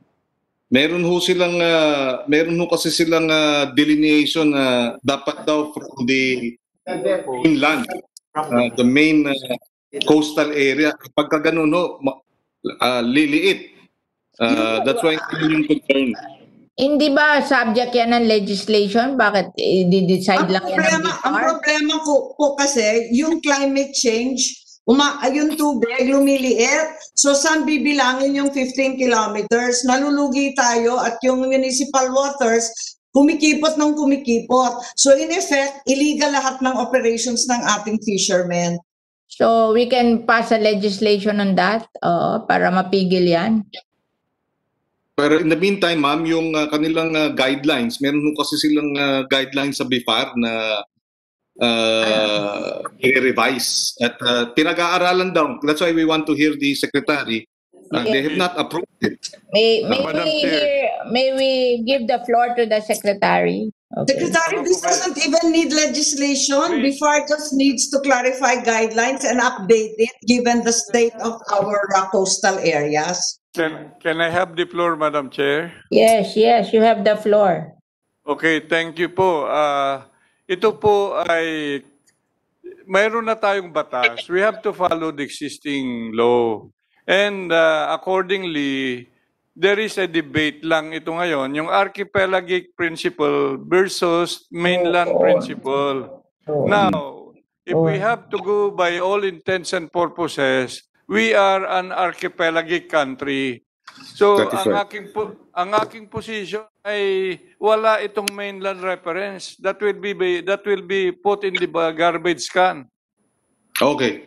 That's that that's good to hear, Secretary, because uh, yung argument ng kabila, dapat mainland and therefore it opens up lumiliit yung municipal waters tapos lalaki yung commercial fishing. So kawawa yung ating small fisher folk. And uh, there is a direct correlation between effective uh, management of these coast, these uh, municipal waters and poverty. If these municipal waters are effectively managed by the local government and stakeholders, poverty in the fishery sector is uh, greatly reduced. Uh, and that's why it is critical. Tama po.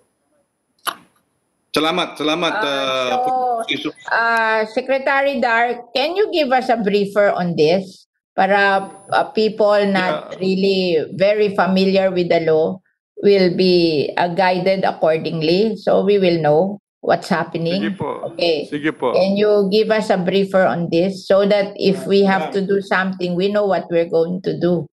Okay? Tama Yes. po. I'd just like to support Senator Kiko's statement that in fact uh, poverty in the in the coastal sector is almost two and a half times higher than uh, even the uh, other rural sectors. Yes, ma'am. Pin- Pinakamahirap, ma'am, ang mga mangingisda natin. Uh, just to clarify, uh, with the permission of the chair, uh, I, you, the newspaper article sa Philippine Daily Inquirer today says Agriculture Secretary has yet to decide on the resolution. Uh, he noted, this is Noel Reyes, that the secretary had commissioned a science-based review of the proposal. So if we can get updates regarding the final decision on this matter, uh, Secretary Willie, we would appreciate it. Yeah, Madam Chair, we will do that. This is just an analysis, but my position now is to uh, abide by, you know, we are an archipelagic country, so we, there's no debate on that issue. Thank you, thank you. Uh, that is uh, a relief to our small uh, fisher folk, uh, uh, Mr. Madam uh, Chairperson, Mr. Secretary. Maraming salamat. Okay. So we uh, suspend the hearing of the uh, uh, Bureau of, Fish, of, of the Fisheries budget subject to a revision that we are asking them. And then we proceed to the other programs of the Department of Agriculture. Okay, thank you. We hear now on the other programs. We'll begin with the, what do you, we, we begin with the rice programs. If you have comment on the rice program. Um, Yes. uh, most of my, Madam Chair? Yes. Yes, uh, uh, well, most of our questions were directed towards the, what we discussed uh, in the earlier hearing, uh, ma'am. Kaya, uh, ang Yeah, concern yeah. So, so uh, we have uh, tackled this. So, uh, this, uh, ano, yung changes that we want all, everything uh, uh, beyond 10 billion to be given to rice farmers. Uh, uh, rice farmers as financial assistance to rice farmers owning one hectare and below. And that is until the expiry of the Rice Competitiveness Enhancement Fund. Okay. And uh, one of my question here, uh, if you have no question, I want to to so we are removing the crop diversification program of 113B to to be used for uh, fa- fa- farmers assistance uh, as uh, uh, financial assistance to rice farmers okay this crop diversification in the budget okay and uh, Madam Chair, yes pwede bang uh, Then you can revise your budget where you will get that crop diversification program. Yeah. It's just that we're That- getting, yeah, it's Tama for po, you. tama po. Oh, you just submit to us what you will uh, uh, get it from, but you can do a crop diversification program, pero hindi dun sa in excess of 10 billion, di ba? Tama ma'am, Gusto tama lang po. namin ibigay yan sa rice farmer para matapos na yung malaking usapan sa, sa I rice was going to farmer. support that. Yes, okay. And then uh, another question is uh, that what I'm asking for, and I want to settle this once and for all. You submitted uh, uh, the hybrid producing towns so that uh, we will eliminate it from the inbred seed uh, rice producing towns. Yung gumagamit ng inbred seed, iba doon sa hybrid. So you have to, the, your program, baka kasi meron kayo sa seeds na ah, malaki dito sa inyong ah, rice resiliency program. Magkano ba yung seeds nyo dito? It's ah, how much dito sa rice resiliency program? Yung banner program nyo, ilan ang sa seeds? Yun. Sa rice resiliency program. Uh, Madam Chair. uh, Yes. the- na- na- thank you very much, Madam Chair. Thank you very much to the senators. Kasi dalawang nagbibigay ng seeds, yung RCEP, ang pinamimigay nun, inbred seed. Ang budget nila doon, 3B a year. Now you have a rice resiliency program, a rice program, a banner program, you have a budget of 15 billion. So, kan- magkano ba ibibigay nyo sa receipts at ang pinamimigay nyo hybrid seeds, di ba? O, para malinaw tayo, maintindihan nila na dalawang klase ang seeds, hybrid and uh, uh, inbred seed. Ang pinamimigay ng RCEP ng field rice is inbred seed kasi sila nagdiscover noon. Ngayon kayo, pinamimigay nyo hybrid seed. So, nagbigay kayo ng listahan ng binibigyan nyo ng hybrid seeds. O, so hindi na yon isasama sa inbred seeds, di ba? O, so, i- magkano ba budget nyo sa hybrid? Ma- Madam Chair, for the hybrid, uh, the budget is uh, 5 billion 483,568. Oh, so 5 billion. So you have chosen the the places where you will give hybrid seats, hindi ba? You right, Tentatively, Madam Chair. yeah. Tentatively, you said uh, it's uh, I listed uh, Region 1, Region 2, Region 3, Nueva Ecija, Tarlac, Zambales, Region 4B, Palawan, Oriental Mindoro, Occidental Mindoro, uh, Region 7, Region 9, 10, 11, 12, and 13. Those are the regions you have chosen to give hybrid seeds. So pag ito ah, pinilit nyo, hindi na natin to bibigyan ng inbred seeds. Kasi You kayo na magbibigay. right. Oo, kasi ang budget lang ng inbred seed is 3 billion. You have a five, more than 5 billion budget for hybrid. Correct, What is the Madam Chair. exact 3 amount? billion um, amount will be covering 1 million hectares approximately, Madam Chair, for the Oh, ano the yung budget nyo sa hybrid? 5 point, Uh, for the for the seeds, ma'am, 5.43 483,566 billion, Madam Chair. 5 point, parang 5 point, 5.483 billion. Okay? Yes, Madam So, Chair. I wish we will do a list na alam nung ano ang bibigyan nila ng inbred at alam nyo rin kung ano bibigyan nyo ng hybrid kasi mas malaki naman ang budget nyo doon sa inbred seed ng RCEP. Di ba? Oo. Actually, Madam Chair, uh, we submitted the specific municipalities and public Yeah, yeah, but, uh. Oo. We And will, following your instruction, Madam Chair, we will tag them. Kasi not only napansin that, ko lang, lahat ng malaki ang production, yun ang kinuha nyo. is that, uh, ano, is that uh, coincidence? Pinili nyo yung the biggest rice producing town, uh, uh, provinces in the Philippines. You chose uh, Nueva Ecija, Isabela, Pangasinan, uh, Cagayan. Oh, yun ang pinili nyo eh. Oo. Ma- Madam Chair, Tar- tama po Tarlac, North your... Cotabato. Pinili nyo na yung pinakamagagaling eh.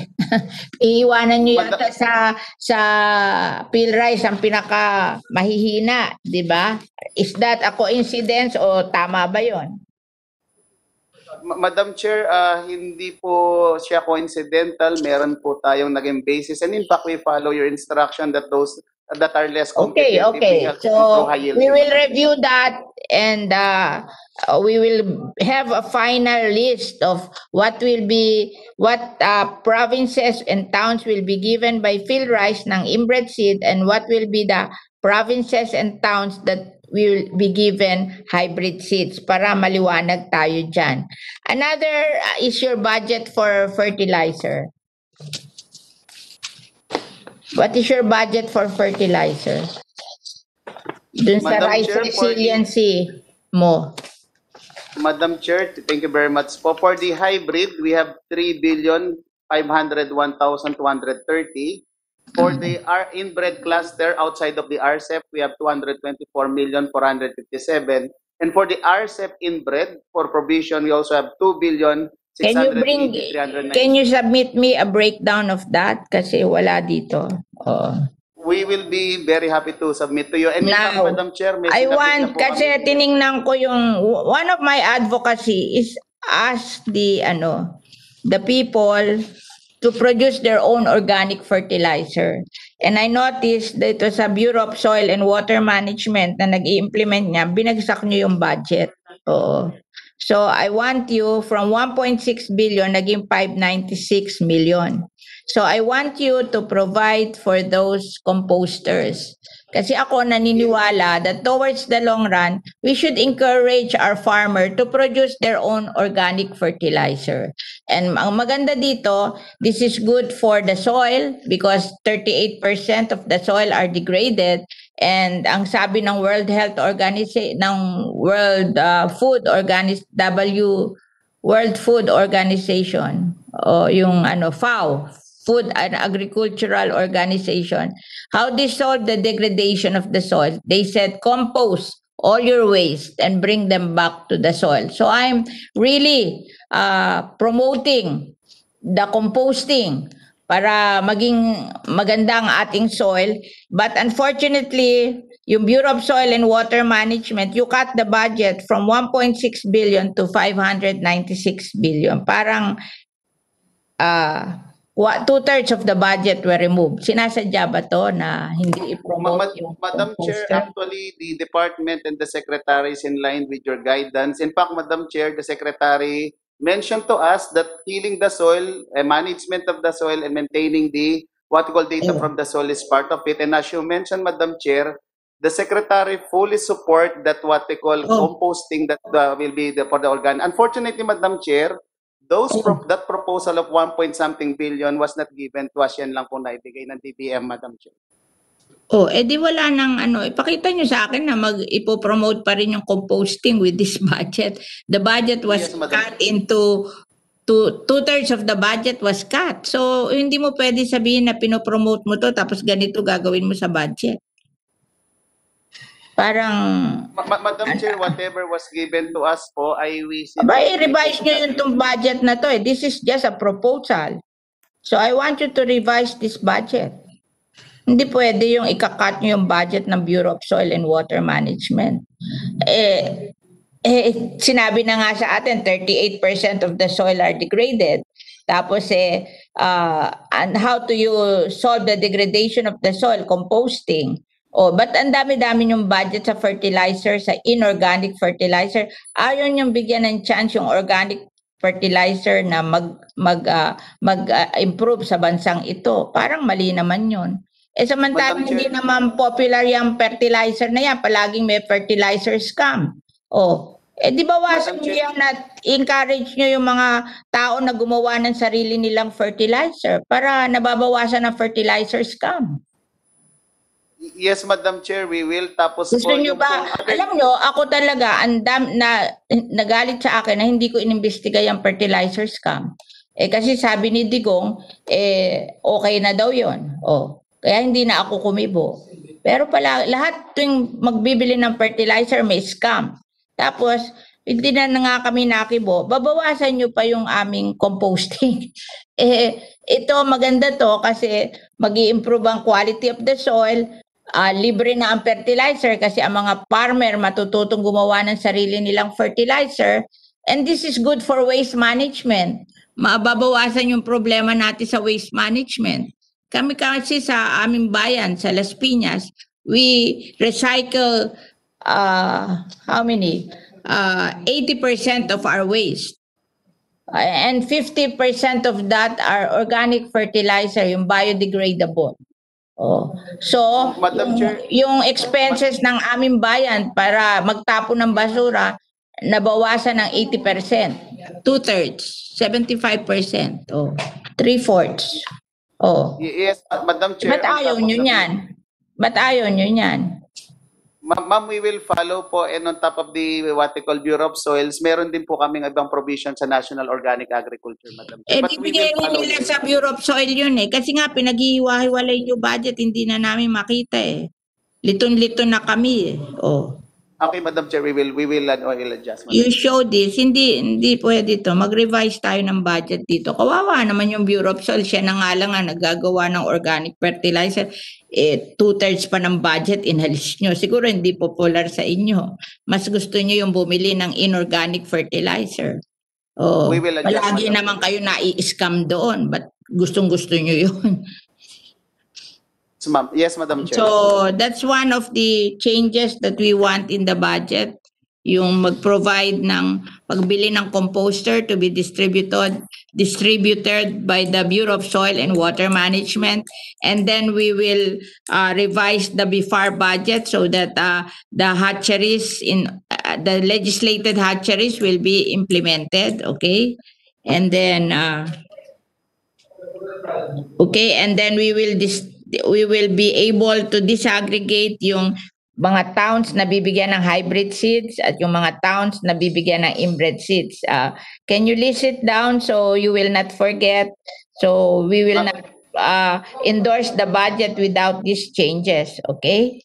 And you are right, Madam Chair, just to inform the body, it is the instruction po ng Secretary other than tagging, lahat po ng nasa program po natin ng RCEP, they will be actually uh, executing MOA to us that within the duration of the program, they will not be shifting with the actual program po, Madam Chair. Okay, so another would be the next, uh, so are there any question in the RISE program, uh, from the senators? So we will move on to the other programs. We'll go to Madam, the, yes, uh, Madam Chair. Secretary, Yes. Senator Kiko, yes. Yes, on the RISE program, ma'am, uh, just a question sa Secretary. Uh, uh, if, with your permission, ma'am. Yes, yes, yes, you go ahead. Thank you, ma'am. Uh, Secretary Willie, uh, itong March 2020, sabi ng NEDA na meron silang expectation na bababa na ang uh, presyo ng bigas sa merkado. In fact, ang figurang sinabi nila ay 34 pesos per kilo. This year, ibig sabihin 2020. And this was said in March 2020. So far, ang uh, August to September 2020 retail prices ng uh, well-milled at uh, regular milled ay pumapalo ng anywhere between 42 pesos sa well-milled at 37 at 38 pesos per kilo uh, sa regular. Um, may- sa pag-aaral ho ba ng uh, NFA at ng uh, inyong tanggapan, Secretary, uh, yung projected decrease sa retail prices ng rice, base sa rice certification, kailan ho natin maaabot yun? Uh, based on the NEDA uh, uh, findings as well as your own uh, uh, Secretary. Opo, gan- this is the monitoring that have been done in regard to monthly retail prices of regular regular milled rice from uh, 2017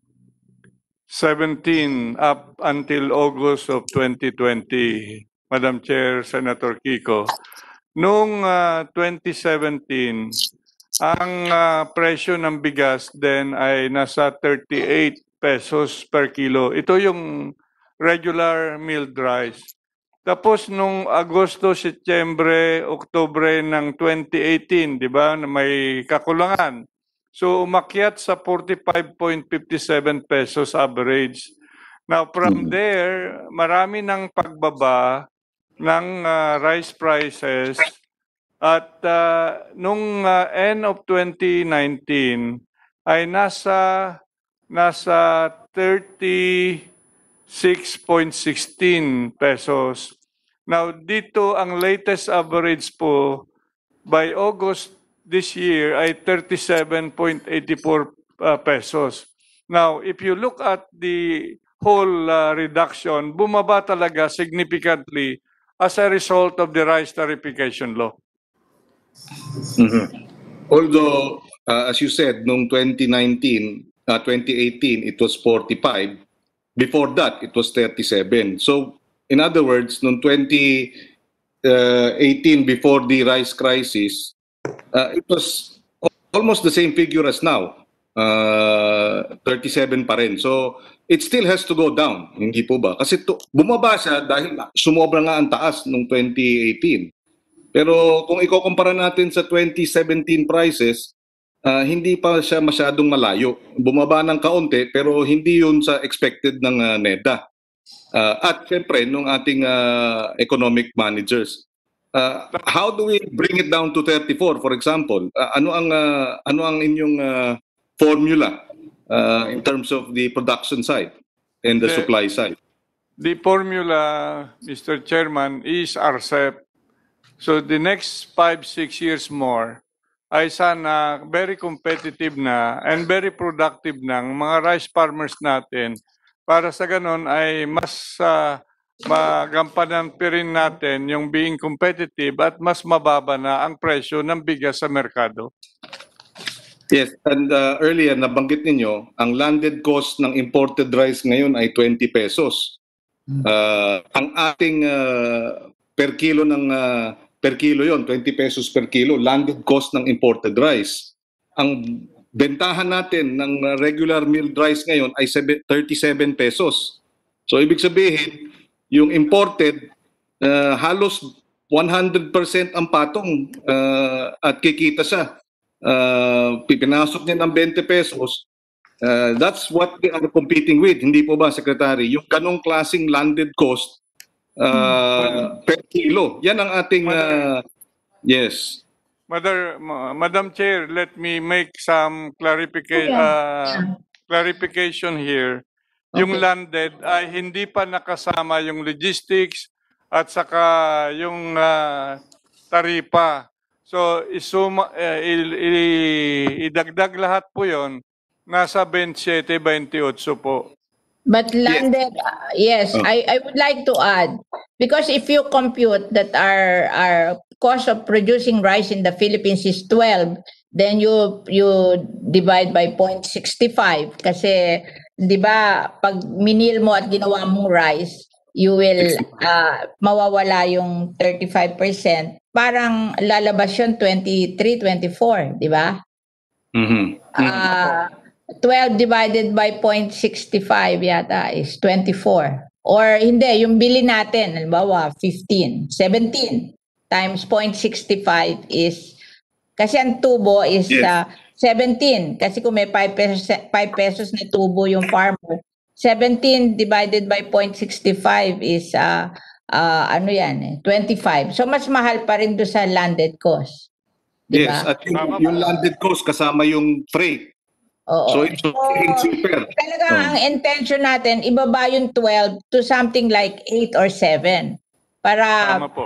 pag pag pag, ben- pag kahit sumubo sila at ah, dinivide ah, minil into rice, pal, pareho pa rin tayo sa Vietnam, di ba? Para hindi na worth it na mag-import, kundi dito na lang bibili sa atin kasi competitive na tayo. The intention of the Rice Competitiveness Enhancement Fund is to bring the cost of producing rice to 8 or 7. Yes. Oh, hindi naman kailangan pumareho tayo sa Vietnam. Ang Vietnam is 6. Ang Thailand is 8. Ba- Basta 7 or 8, okay na tayo kasi we can sell the the the palay at a lower cost pero same ang income and then mumura ang bigas, 'di ba? 'Yun ang intention ng Rice Competitiveness Enhancement Fund. But of course, it will take time to be in effect kaya we'll giving them six years. In the meantime, lahat ng ah, excess sa tariff, ipamigay na lang natin na na cash assistance to them to tide them over until maging competitive sila. 'Di ba? 'Yun ang intention of the Rice Competitiveness Enhancement Fund. Opo. Madam Chair. Ma'am, ma'am, if I Madam may just Chair. add one, if I may just add one, uh, one uh, si- uh, scenario, ma'am. Ito, paano nakatipid yung pamalang lokal sa Pampanga dahil sila mismo ang bumili ng palay sa mga magsasaka at 19 pesos, ibig sabihin eh, mas mataas ng 2 piso, tapos sila ang gumiling, sila ang nagmill, at dahil sila ang nagmill, nakatipid pa sila nung uh, dami ng uh, nung uh, benta ng bigas kasi mas mura sa sa paggiling nila kaysa sa wet market. To, And in the end, nakadagdag pa sila ng tatlong kilo per family ng ayuda ng bigas kasi nakatipid sila. Ganun ho ang mangyayari kapag uh, fully operational na ho yung Competitiveness Enhancement Fund at tama yung suporta. Talagang babagsak ang Kasi- presyo. Kaya tumataas ah, dahil mas malaki ang kita nung, nung private kaysa sa public, di ba? Oo. Kaya tumataas. Oo, oo. Kasi may effect pa rin yung cartel. May effect pa rin yung cartel, di ba? Hindi pa natin naalis. Oo. Ah, hindi ba, hindi commensurate yung bagsak ng presyo ng palay dun sa bagsak ng presyo ng ah, ah, bigas. Kasi malaki pa rin ang kita nung yung ah, trader. Yun ang yun Trader. ho ang Oo, hindi natin talaga kaya it's really a struggle na yung trader ay makontrol natin na they Tama will po. price rice at a reasonable price. Kumikita naman sila, nasosobrahan lang yung kita nila. Sobra lang. Opo. Thank you, thank you. Thank you for that clarification, Secretary. Maraming salamat, ah, Madam Chairperson. Madam Salamat Chair, po. natanong na ba yung Salamat po, Sen. ACPC? Ano, sige, magtanong ka, Amy. Yung, Hindi po kasi yung ACPC was budgeted 2.6 billion for loans. Eh, wala naman tayong nakikitang breakdown o kung ano yung mga allocation for each program. At ah, kasama dyan yung sikat saka ni ah, Senator ah, Kiko. Eh, ano ba talaga itong mga credit programs?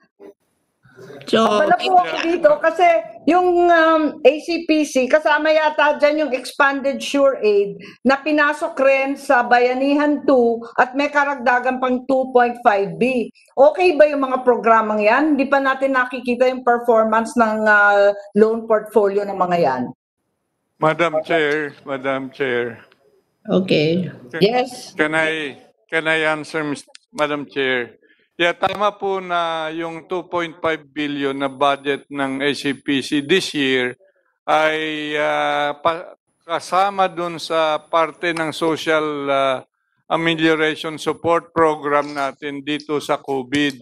At ang ganda po ng ah, programa na ito, ang dalawang aspeto ang pinupunduhan, yung mga marginalized farmers and fisher folk na pautang ay 25,000, zero interest at payable in 10 years. The other component is for the s- micro and small enterprises. So ang ganda po, uh, this is one of the more popular loan programs ng uh, ng uh, gobyerno and that's why we are continuing it under Bayanihan 2. Yes, our concern was, anong performance niyan? Nagbabayad ba yan? Well, bago po lang, this is just a new program. And uh, for previous programs, we will submit, Madam Chair, uh, the performance of uh, all the ACPC uh, programs. Yeah, perhaps we could get more information, request for information na lang, Madam Chair, kasi hindi pa natin naririnig. Ano yung breakdown dyan? Maraming nakalista riyan, yung expanded sure, sure aid, capital access, sikat saka, agrarian product, etc., etc. So if you can just see the breakdown.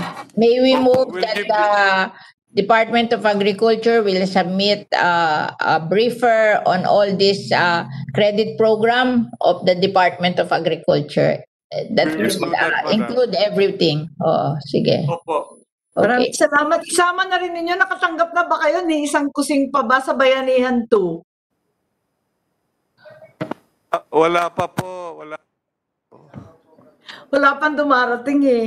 Eh, mag-expire na yan December 19, di ba? December tayo 19. nakakatakot. Wala pa raw dumarating sa DA. Nakasubmit po pero wala pang dumating po. Ah, siguro yung isa pang tanong ko sa Fertilizer and Pesticide Authority, kasi ang ah, sinasabi ng ah, SINAG at yung iba't iba pang ah, farmers group sa Region 1 and 2 dito sa atin, Apo ah, Secretary, eh, yung overpricing, marami pa silang mga resibo at ang sabi nila, hindi daw yung agriculture ang naribot, ang naribot daw yung fertilizer scam. Ano po ang ah, ginawa ng DA tungkol dyan? Na-imbestiga na ba yan? Dahil may budget na, naman na i-release dyan eh. Madam the Chair. budget and- is 6.4 billion. 6.4. Yeah, Madam Chair, let me answer, Madam Chair, briefly. Walang katotohanan na may corruption, walang irregularidad at lahat po yung documents sa intact at ah, mas ngayon ay mas mababa na yung mga fertilizers. Ang detalya si Ariel Yusek. Yung, yung breakdown po kasi at yung mga resibo ng pagbenta, mas mataas yung pagbili di hamak ng ah, DA kesa sa pagbili namin dito ng retail na tingi-tingi. Kaya nagtataka po kami. Madam Chair, number one po, thank you very much, Madam Chair, for recognizing. Number one po, ang naging basis po natin ng ating ceiling price or ABC are the average prices taken from the authority which no other than FTA. Per month po yun, para mas surgical po tayo. Number two, we drill down hindi lang po region hanggang probinsya po.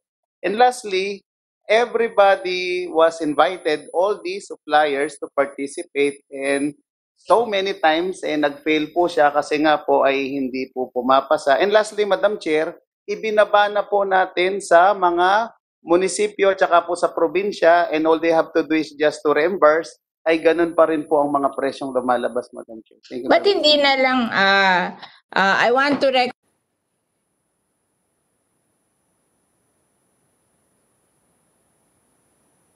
Ah, bakit, ah, ah, I want to recognize, now, unmute ko, na-mute ko. I want to recognize Sec- Senator Subiri. Uh, you can ask question after this. Uh, uh, I just want to, ano, ba't hindi nyo i-up na lang yan na voucher na lang ah, ang ibibigay nyo, hindi na fertilizer. Mag-recognize kayo ng supplier, tapos you give voucher. Parang gina- ganun ang gina- ginawa na rin sa seeds eh. Na hindi na physical distribution, kundi voucher na lang para mas madali sa mga farmer at sigurado. Madam Chair. Ba't hindi nyo i-computerize yan na ibigay na lang na something Ma'am. that they they can claim?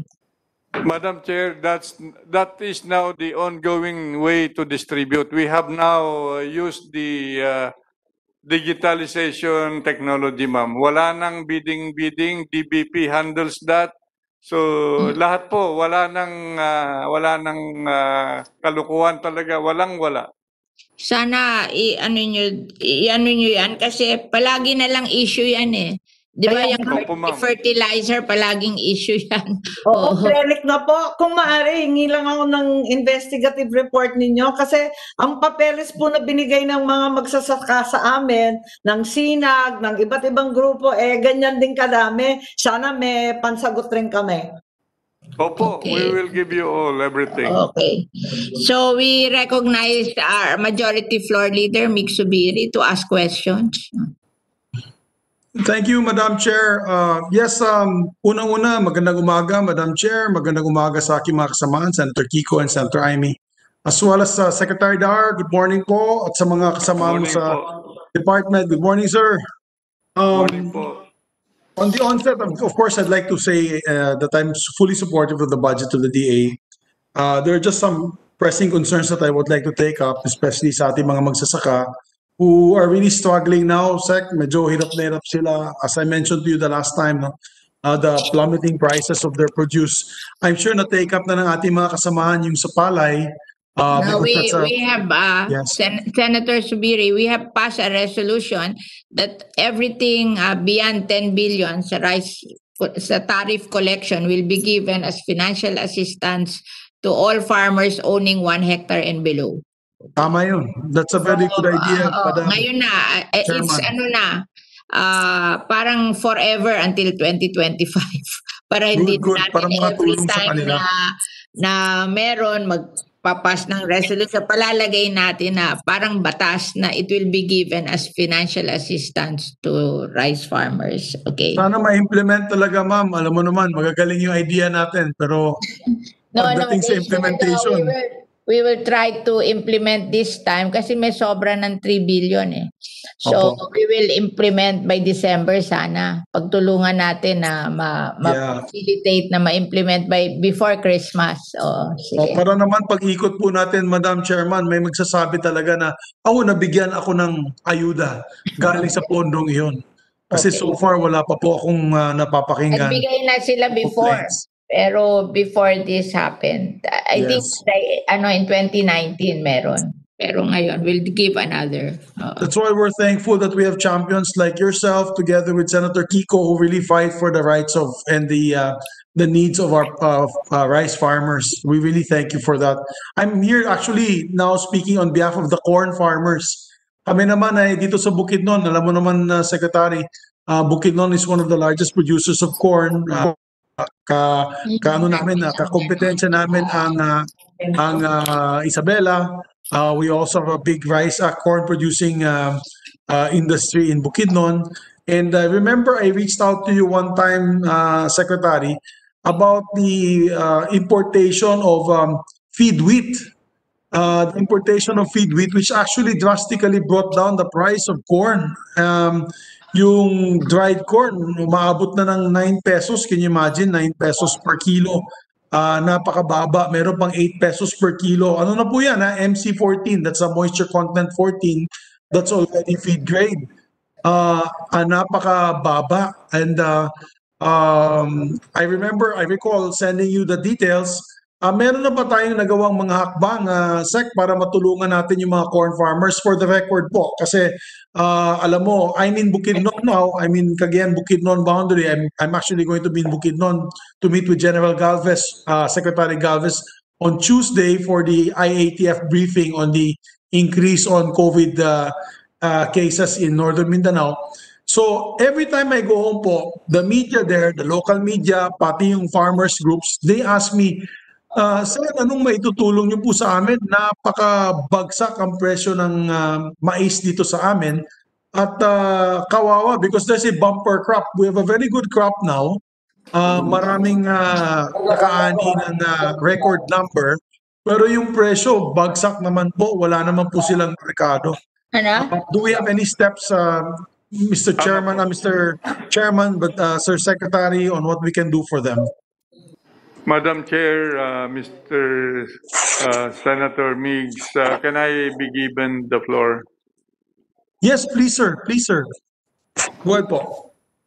Madam Chair, uh, let me highlight yung mga measures or actions taken in connection with the uh, falling prices of corn. Uh, nasabi ko na yata last time na mayroon kaming ugnayan with the Philippine Association of Feed Millers that represent around 70% of the country's feed millers and they continue to buy uh, local produce of corn up until now. By this time, they may have already bought about 200,000 metric tons of corn. On top of that, meron rin kaming ugnayan with San Miguel Corporation at nakabili na po rin sila ng 400,000 metric tons of corn. Now, in the uh, another measure po ay uh, the other day we we had the Land Bank uh, Board of Directors meeting at uh, prinupos ko po doon yung uh, uh, opening of a credit facility for corn buying uh, by the provincial governments or even any LGU for that matter at aprobado na po ito. So this is one new facility that the corn farmers in the future can access to. Yung mayroon ng, I mean, I, I mean the provincial and municipal governments can now access the loan program from DBP to buy more corn. Now, in relation to the uh, wheat importation vis-a-vis uh, yellow corn, mayroon na mayroon kami ng na institutionalized na management uh, strategy not to really uh, bring wheat during the main harvest of corn. There are two main harvests during the year, and so uh, that management strategy is now put in place.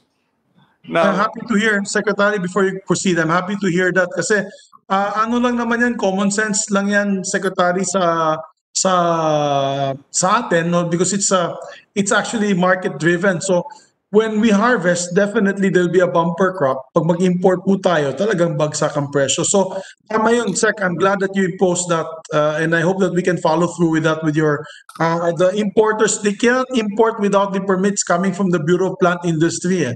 So, isang sabi mo lang yan, Secretary, ba-monitor natin.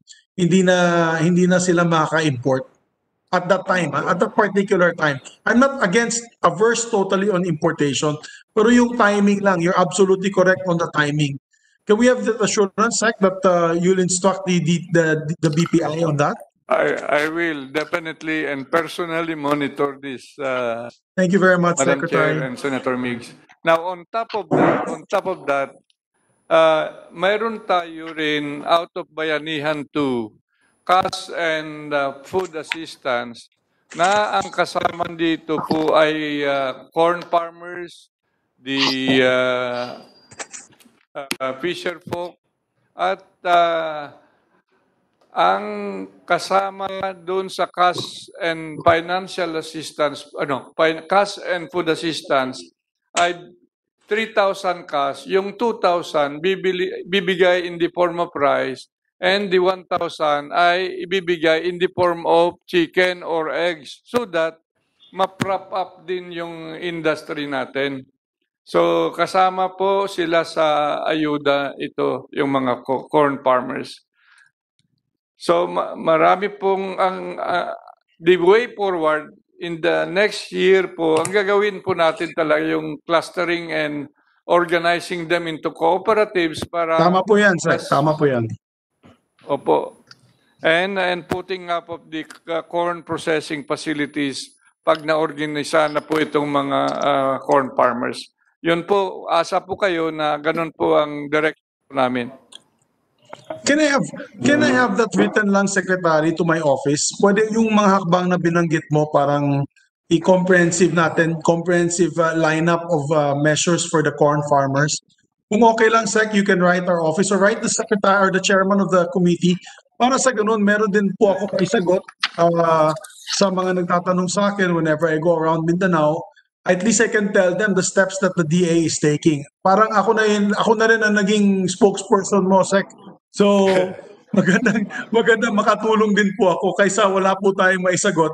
Mas maganda na officially, uh, it is all written down uh, to the chairperson so that we also can be guided and follow through no later on eventually. Okay lang, We, Sec? we will do that, Madam Chair, Senator Migs. Uh, by all means, we'll do that. Thank you very much, Secretary. I'll wait for that. Uh, I'll, wait for that. Also, uh, going to another industry that uh, is very, very uh, prevalent in uh, Mindanao are the poultry growers and the hog raisers. I mentioned that also in our last hearing. Um, again, no, it's uh, unscrupulous traders who do technical smuggling. And I know in, in one of the hearings you mentioned that no, na tinanong po ni Chairman Villarian at ang banggit mo sa kanya, talaga napakahirap minsan mag-monitor nitong technical smuggling. Ang nangyayari kasi, uh, of course, the poultry and hog raisers are complaining of low prices because of import dumping. So, ang nangyayari, uh, I'm sure you're familiar with this uh, setup, the illegal imports no compete with our local chicken by, for example, mechanically deboned po siya, Madam Chair, no? Chicken meat is actually allowed to be imported by food processors kung gagawa po sila na parang uh, uh, luncheon meat na local, ganyan. Pwede po ipasok yung uh, mechanically deboned chicken. However, uh, ang nangyayari, unscrupulous importers, hinahalo po nila ng imported choice cuts and uh, imported uh, choice meat cuts tapos declared as deboned for processing. So nangyayari itong meat cuts, makikita nyo po yan sa mga malalaking grocery, malalaking supermarket. Of course, they evade taxes, tariffs, duties. In the end, yung poultry producers po natin at hog producers and other livestock growers are prevented from selling larger volumes uh, to household consumers and food processors because of this uh, technical smuggling. Um, kawawa naman po. Uh, in other countries, they protect their industries. You cannot do that in the United States. It is next to impossible to bring in. Kasi tinanong ko din yung mga producers dito eh, local. Ba't ayaw naman natin mag-import, ah, mag-export? Sabi nila, pagdating naman dun sa ah, ibang bansa, napakahigpit din po ang phytosanitary permits. Ang Amerika po talagang Yes, no hindi mo hindi mo maibebenta ito mga ah, produktong ito sa kanilang mga merkado. At tayo naman, we're being dumped, no? illegally dumped by these uh, uh, products. Sec, ano po mga hakbang na magagawa po natin para dyan? Kawawa naman po. You know, Bukidnon is home of hundreds of uh, poultry producers and uh, uh, they're employing tens of thousands of my uh, uh, kababayans, no? my my province mates, not only Bukidnon, pati Batangas, pati uh, uh, Misamis Oriental, pati uh, Ilocos meron, pati Central Luzon, napakarami. Tat natamaan na sila ng ASF, tapos they have to deal pa with technical smuggling. Ano pong mga steps na ginagawa po natin, Sec, para at least masagot ko din because they write me on a weekly basis uh, asking me for help. Madam Chair, uh, Senator Migs, Ah, alam ninyo kung smuggling yan ay talagang ang hirap sugpuin. At it needs the whole of nation approach. And ah, we are always there. Nandyan naman ang mga tauhan namin kung ibibigay lahat yung manifest ay arrival manifest ay magagampanan po namin na ma-inspect lahat yan. Mas lalo na ito ay yung may uh, import clearances ang hirap yung walang dokumento. So tha- that's the hardest uh, thing to do. Uh, I don't know, I have no bullet answer for technical smuggling, but uh, kung smuggle sa akin, very simple policy, confiscate. Kung, uh, na, kung, kung walang dokumento, confiscate palagi ang aming response. Kasi uh, that, that's really smuggling. So ganun lang po ang ang ginagawa po namin. Number two, sana din pagbigyan kami ng kunting ah, budget sa intelligence. Wala kaming ah, intelligence against anti-smuggling budget. Eh, mayroon kaming intelligence pero walang budget. Ba't hindi kayo maglagay ng budget sa inyong intelligence? Opo ma'am, we will It's do it's a na po. matter of prioritizing eh. Alam mo, I never believed na uh, uh, malaking budget. It's the way you use your budget. Are you using your budget efficiently? That's the question. Oo. Hmm. Kasi hindi naman tayo pwede hingi ng hingi ng budget kasi alam nyo naman may problema rin tayo na ah, may recession tayo, hindi malaki ang available funds natin. But how we will use the budget is ano, but hindi mo na lang i-allow yung importation ng mechanical deboned ah, ano sa mga processor. Hindi pwede yung trader. Kasi I think yung mga processor, hindi sila mag smuggle Kasi may mga name na mga kumpanya yan eh. Pero yung mga trader ang mag mag mag-smuggle. So why not uh, limit it to the processor, 'di ba? Kasi kung processor ka naman na kumikita ka sa business mo, hindi mo gagawin yang ano, yung mag-smuggle ng ibang bagay dadalhin mo sa market. I mean, Actually, Madam Chair, no, tama po yung sinabi mo kasi kung kukuha pa sila, bibigyan po yung permit sa trader, yung Oo. trader, magte-technical smuggling yan. Oo, bibigyan oo, tayo sa oo. Pero processor. yung processor, Oo. kasi ang income nila nagagaling do sa processing nila, hindi sila magte-technical smuggling Diba? to earn more. Sa traders. Hindi po sir, sa process. Pero registered po lang. Okay, ma'am. Uh, we will uh, strengthen yung pamimigay ng import clearance Sa processor. uh, Oo. consolidate that to the processors para Oo, sa mga trader. Kasi yung trader, kikita na sila mag-supply sa processor, kukita pa sila on the side. Pero kung processor yon ano naman ang ano nila na magsa-sideline pa sila sa pagte-technical smuggling. Parang lalo na yung mga main processors natin, they, they really make money on Yeah. their business, not Correct. in in doing technical smuggling. So, We will do that. yung pagbibigay ng uh, permit, yung business permit. Kasi katulad nun, bibigay sa mga mga ano, mga cooperative. Tapos hindi naman yung mga cooperative ang ano, front lang sila do sa mga trader. Siguro yung mga blacklisted trader, yun ang pinofront yung mga cooperative. Eh, pag-igihin nyo yung pagpili ng trader, yung mga naglulukong trader na nagpapahirap sa atin, wag nyo na bigyan ng, ah, i-blacklist nyo yun.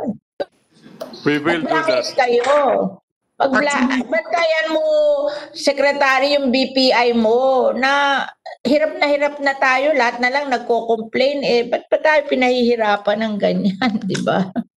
Oo nga ma'am, actually nagawa na po natin, Sec, nagawa na po natin yan sa sugar industry, di ba? Sa sugar industry, nag-direct importing na we allow direct importation to Coca-Cola, Pepsi-Cola, and mga allocations from abroad.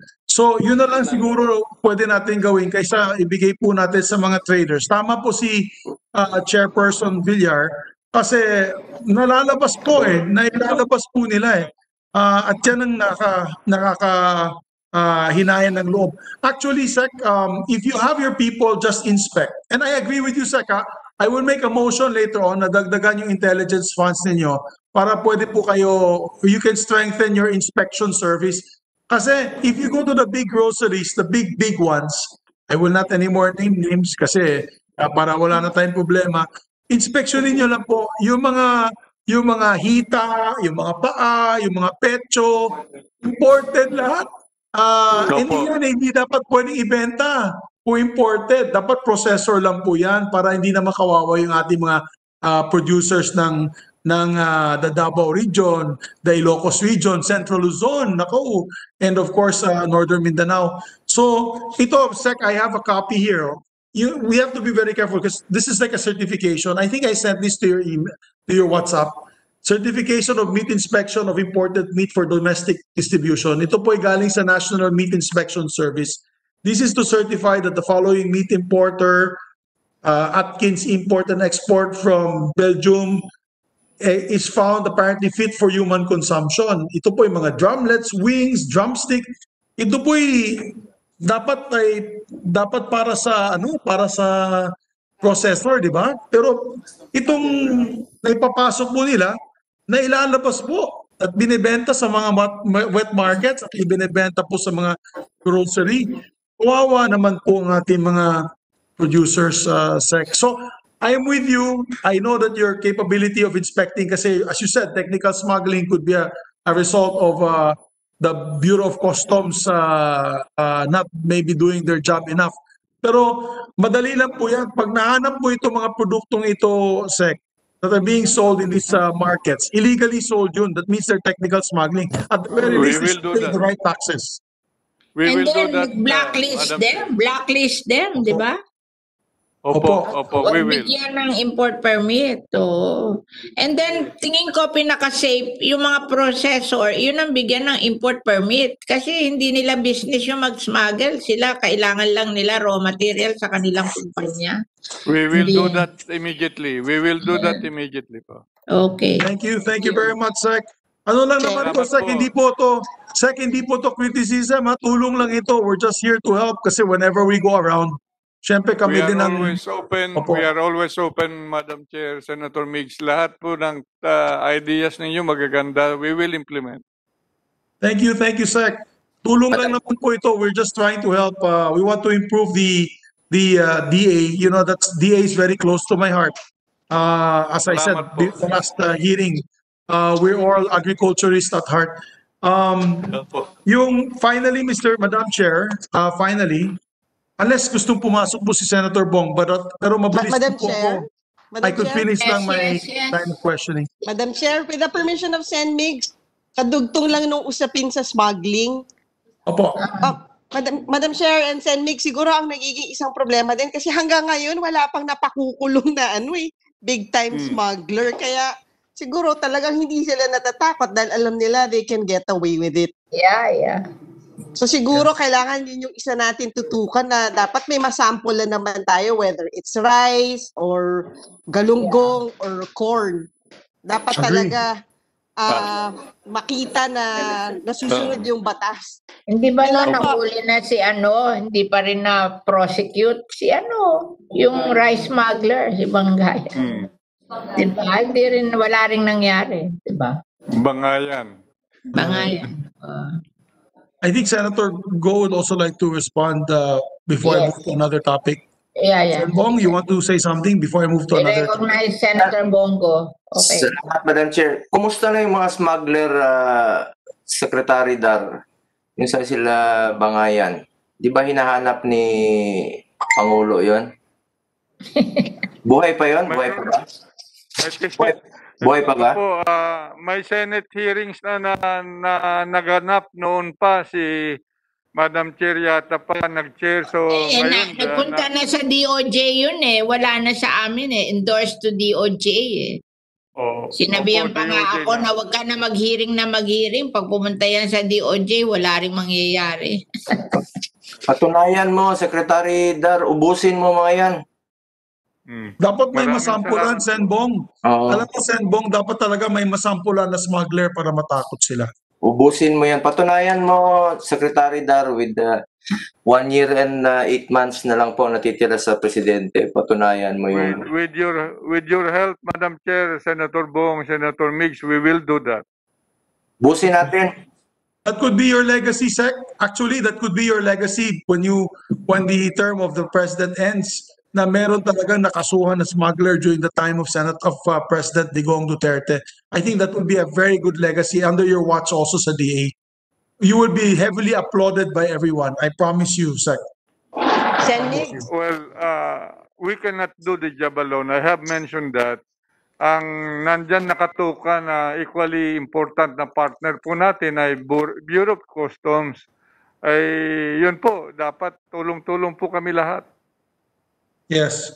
Siguro tulungan na lang ni Sen- Senator Bong i-follow up sa kay Secretary uh, sa DOJ. Secretary DOJ. Maynard. Nasa DOJ na yan eh. kay Secretary Maynard Sanbong baka pwede nang sa fiscal level mapailan na ng kaso. At least man lang hindi kung hindi makulong mapailan na ng kaso. Para at least sila po ay matutu maka ma- mabigyan ng leksyon. Tuluyan natin, Secretary Dar. Tuluyan natin. Meron tayong law na yung yung pinasa namin yung batas na yon no agricultural smuggling is economic sabotage and non-bailable. Yes. Oh, merong may batas tayong gano'n na napasa namin yon nung time na nung last Congress. Agricultural smuggling is economic sabotage and non-bailable. Kaya mapailan lang ng kaso, hindi na pwedeng i, walang walang ban, walang bail, walang bail, nakakulong hanggang maka-clear sa kaso. At least yung time na kini-clear sa kaso, nakakulong. May Tama batas na ganon, may batas na ganon. Sen Nancy, Madam Chair, gusto yata magsalita sa Nancy. Go ahead, ma'am. Cynthia, Nancy. oh, pero wala pang nasasampulan dun sa batas Kaya na nga, pinasa, pinasa na nga namin yun eh. Wala pa rin. Oo, we will ask ano, DOJ, sa hearing ng DOJ, natapos na ba hearing? Sa plenary ng DOJ, we will ask. Sige. I will join you, Madam Chair. I will support you 100%. Uh, talagang kailangan talaga masampulan ng isa kasi kung hindi, walang matatakot. And uh, I know Sen Bong will be with us on that. Um, ma- malaking issue to ng first term ni first two years yata ni Pangulong Duterte. That was a big issue for him and he made a commitment to really put these people to jail. Naalala ko pa Sen Migs nung ah, nag ah, nag ah, naging resource person si then Mayor Duterte sometime in 2013. Napag napag-usapan ko itong ah, That's is, my ah, hearing. He came. ah, pumunta po siya sa hearing ng ano Department of Agriculture. Anyway, Secretary Dar ah, magtulungan tayo dito. Ah, Tuluyan talaga natin itong mga to. Opo, kasama po ka, kami sa inyo. Wala pong problema. Salamat. Madam Chair, Senator Mig, may I just ah, interject? Sure, sure. Ah, ah, tanghali na, gutom na ako. Gusto kong gisahin si ah, Secretary ah, Dar. Ah, anyway, I just want to ah, express my ah, ah, support for the department with the permission of our colleagues lang po. Maikli lang po ito. Uh, Madam Chair, Secretary Dar, fellow colleagues, and uh, resource persons present here today, I will not uh, interpose any questions. I am here to manifest my full support to the budget of the Department of Agriculture, headed by uh, Secretary William Dar, its uh, banner programs, and the Bureau of Fisheries and Aquatic Resources. The Department of Agriculture's 2021 budget uh, trust priorities and strategies uh, support the vision of a food secure and resilient uh, Philippines with the prosperous farmers and fisherfolk. Uh, I trust the department to stay true to its uh, vision and continue their efforts in providing reprieve to our uh, less uh, fortunate farmers and uh, fisherfolk and ensure production, availability, accessibility, and affordability, price stability, and uh, and of course food safety. I laud the swift response of the Department of Agriculture to address the dismal effects of the ongoing pandemic. The department provided uh, financial subsidy to more than 530 rice uh, farmers. They have released and uh, continue to release uh, zero interest loans to marginalized small farmers and uh, fisherfolk and agri-based uh, micro and small enterprises. In addition, they have extended support services, education, training, and agricultural equipment and facilities to our uh, poverty-stricken farmers and fisherfolk. They help uh, they provide in turn safeguarded our nation's uh, food security, which is uh, vital uh, to each and everyone's sustenance. In addition to the passage of Bayanihan 2 has also empowered the department to further its efforts in assisting our farmers and fisher folks during these trying times. The Bayanihan 2 directed the Land Bank of the Philippines and Development Bank of the Philippines to prioritize agri-fishery businesses and agricultural cooperatives, farmers, fisher folks, and other agricultural workers in the provision of low interest and flexible loans. In addition to an appropriation and standby fund of 24 billion pesos was allocated to assist our agricultural sector, I call on the department to safeguard and spend this uh, appropriation uh, judiciously. Kailangan unahin po natin ang pinakamahirap na magsasaka. Huwag po natin silang uh, hayaang magutom. Bigyan po natin sila ng, ng lahat ng kailangan nila para makabangon po muli. Nakikita ko po sa mga social uh, media yung mga naghihirap nating mga kababayang magsasaka. Ang mga magsasaka at mga mangingisda po natin ay may tituring nating importanteng frontliners ng ating bansa. Kung wala po sila, wala tayong makakain sa araw-araw. Kung kaya't nakikiusap po ako sa inyo na gamitin ang budget ng maayos up to the last uh, centavo. Para sa ating mga magsasaka at uh, mangingisda, bukas po ang aking opisina para pakinggan kayo. Kung mayroon kayong, mayroon kayong nakikitang anomalya, ako mismo ang magko-call out sa mga bulok na opisyal na inuuna ang kanilang pangsariling interes bago ang interes ng bayan at ng Pilipino. Ah, yun lang po. Maraming ah, salamat, ah, Madam Chair. Ah, Senator Zubiri Majo, salamat ah, for allowing me to ah, interject. Ah, thank you. Senat- uh, Madam Chair, uh, can I uh, respond? yeah, yeah. quickly? Uh, we recognize Yeah, Secretary uh, Dar.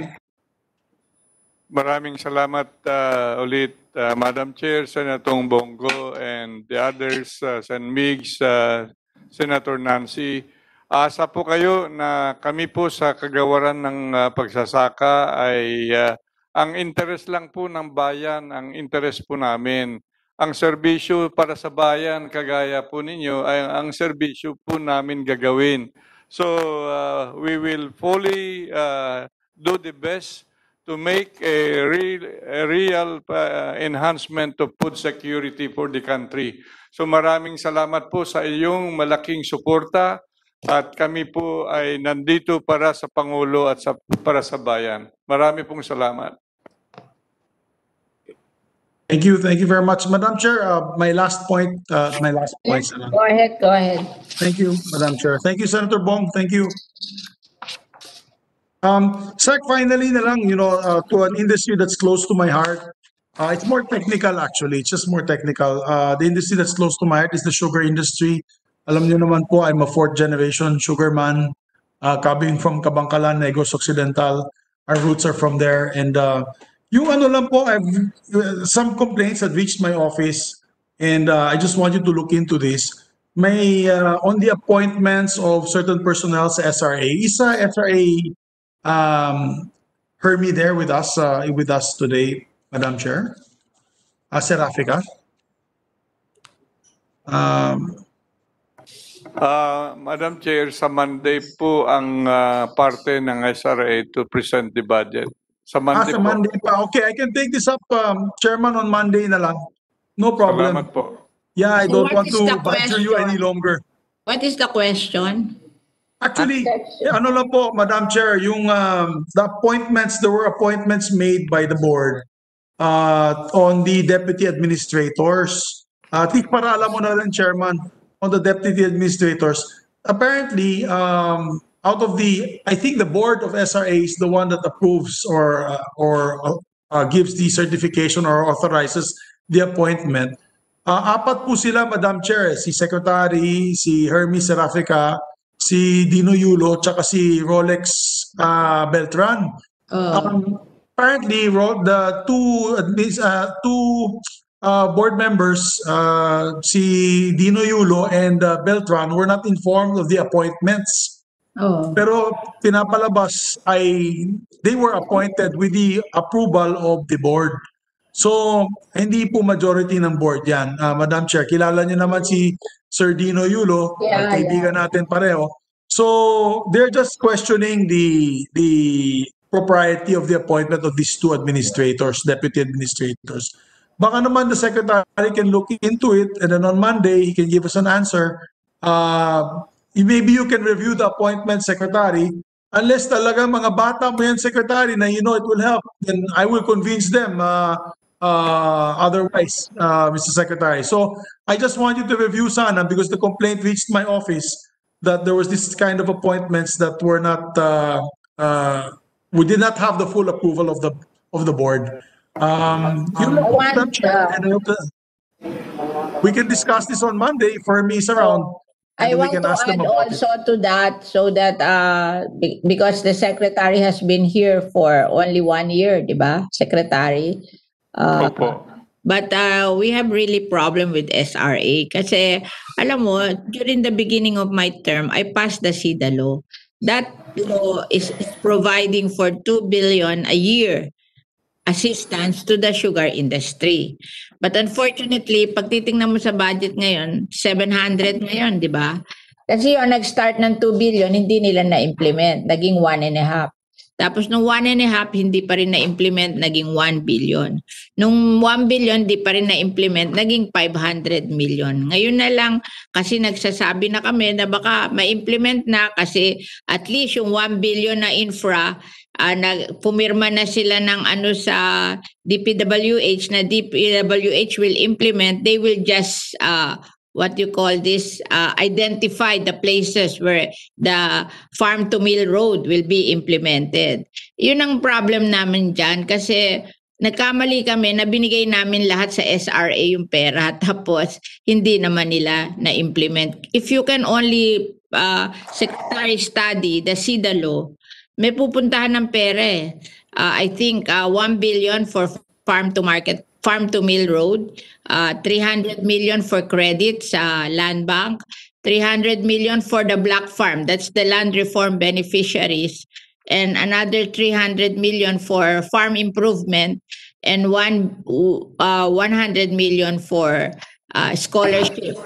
We're so unhappy with the SIDA law kasi walang na-implement and it has been going on for so many years to the point na bumagsak ng bumagsak ang budget. Hindi naman namin ma-justify sa sa DBM na i- at ibalik sa 2 billion kasi sabi nila eh, hindi man na-implement eh. hindi siguro kailangan ng pera. That's the problem with CDA, ay with the SRA. Kaya siguro you have to discuss this since you're the chairman of the board. You discuss it with them that you know, we passed this law. We had a hard time. That is the first law I passed in my stint as a as a senator. Eh, I failed because they were not able to implement it. Ng- Ngayon, ang law ko, pag pinapas ko, iba-iba Madam Chair, Madam Chair, let me correct Madam Chair. ah. You did not fail. You did not fail, ma'am. You had the best of intentions. Yung nag-failure dyan is the implementing agency, Madam Chair. I just like to Nagkamali put that on record. Kasi isinentralize ko yung implementation. Kaya Secretary Dar, napapansin mo ngayon yung mga batas namin. ah, pinipili na namin yung implementing agency para pag nag-fail lang isa, hindi nag-fail lahat, di ba? Para hati-hati ang trabaho kung merong mag-succeed, hindi the whole program will fail. Kaya ganyan yung RCEP, ganyan yung ASEP, ganyan yung ano, yung COCO bill, ganyan din eh. I, i- pinaghiwa-hiwalay ang implementation kasi sa SRA sinentralize and then they fail to implement. Yun ang binibida ko sa iyo, Secretary. So you will be guided accordingly because I've been here for seven years. You are on your second year. So I know what happened to all of this. Kaya binibida Sige ko po, lang sa iyo para to- for you to be guided accordingly para pag minamanage mo sila, yun ang problema nila, yung implementation. Maraming salamat po, ma'am. So siguro yun ah, yun na lang at isa po yung punto na ibabanggit ko sana yung implementation ng SIDA law ah, and ah, the chairperson was spot on. We wanted to add additional funding uh, Mr. Chairman, uh, Mr. Madam Chairman, I would like to make a motion with uh, Senator Sani Angara na dagdagan yon.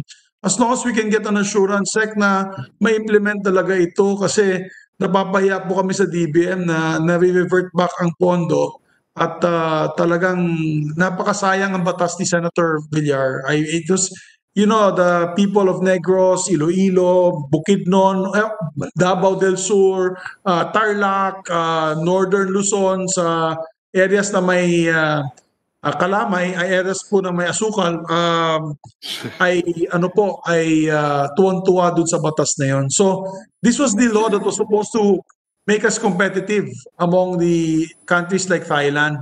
So Opo. unfortunately, wala po nangyari, Secretary. So uh, yun din po, I'm with the chairperson and hope, hopefully, no, we'll add a bit, bit, bit more budget and hopefully ma-implement din po siya, Sec. We will uh, do the best we can, Mr. Chair, uh, Madam Chairman and San Migs. Uh, we will. Thank you. Thank you. Yun lang po, Madam Chair.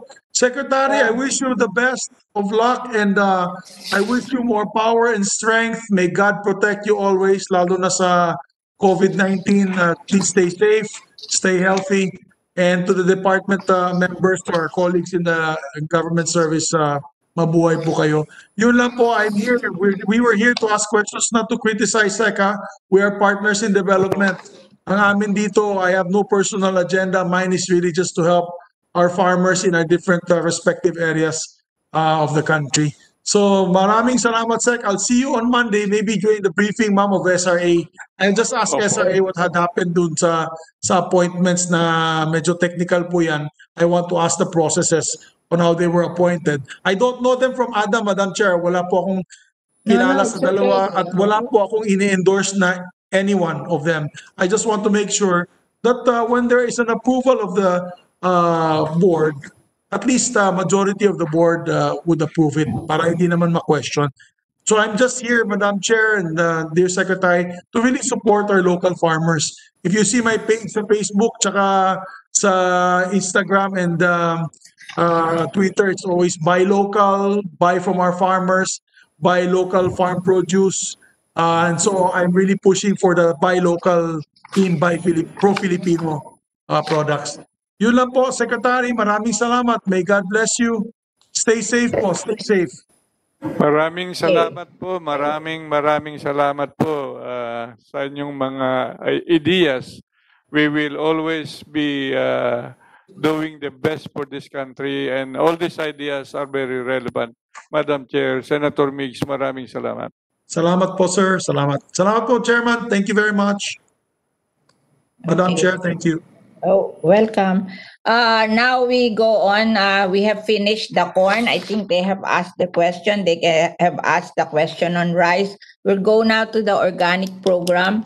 I just wish to inform the secretary that we have passed the na- amendment to the national organic law. And it has, there, there is a bicameral report, so it will go now to the president.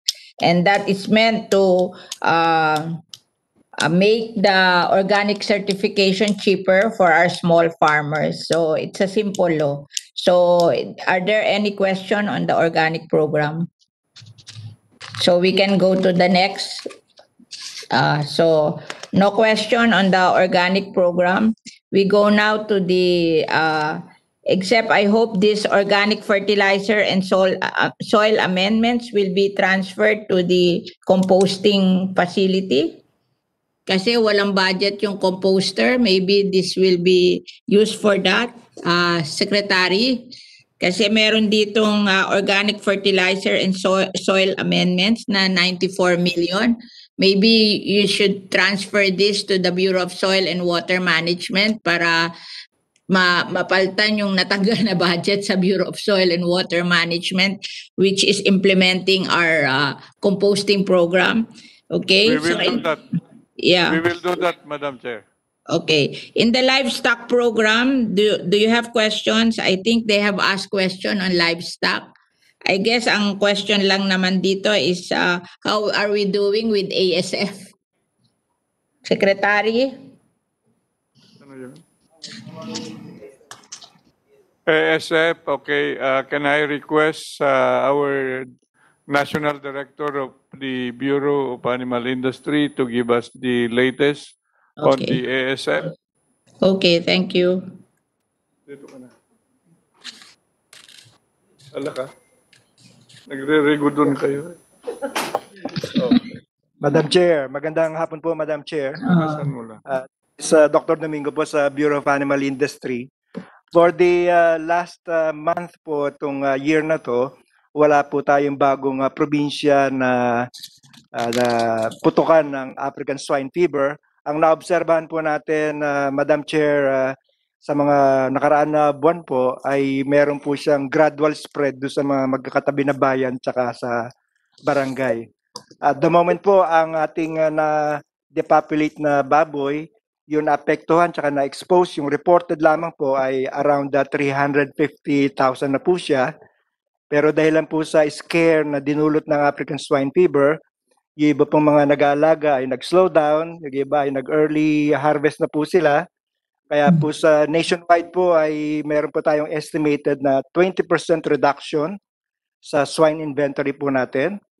Hardest hit po ang uh, Central Luzon at Southern Tagalog. Kaya po yung mga nagsusupply ng baboy sa Metro Manila, mas malayo na po yung binibilhan nila and this adds to the cost of the uh, retail prices of pork in Metro Manila. Yun lamang po, Madam Chair. In fact, ang complaint ng mga nagpadala sa akin ng sulat ay tinatanong sa inyo, bakit nagmamahal ang pork sa Metro Manila? Oo, yun ang complaint nila. Tanungin ko daw sa inyo at yan nga ang sagot na kaya nagmamahal ang pork sa Metro Manila na bumagsak ang production because natakot sa sa ASF. Ang gusto ko lang i-remind sa inyo, siyempre yung mga backyard farmer na na-ASF, hindi nila ire-report at ipipilit nilang ibenta yung kanilang baboy kahit may ASF pag hindi nyo binig, binayaran. 'Di ba? Eh ang problema ng ah, from my experience ha, kasi nag-ASF din tong kapitbahay namin Bacoor eh. Ah, from my op- from my observation, ang tagal magbayad ng ano DA.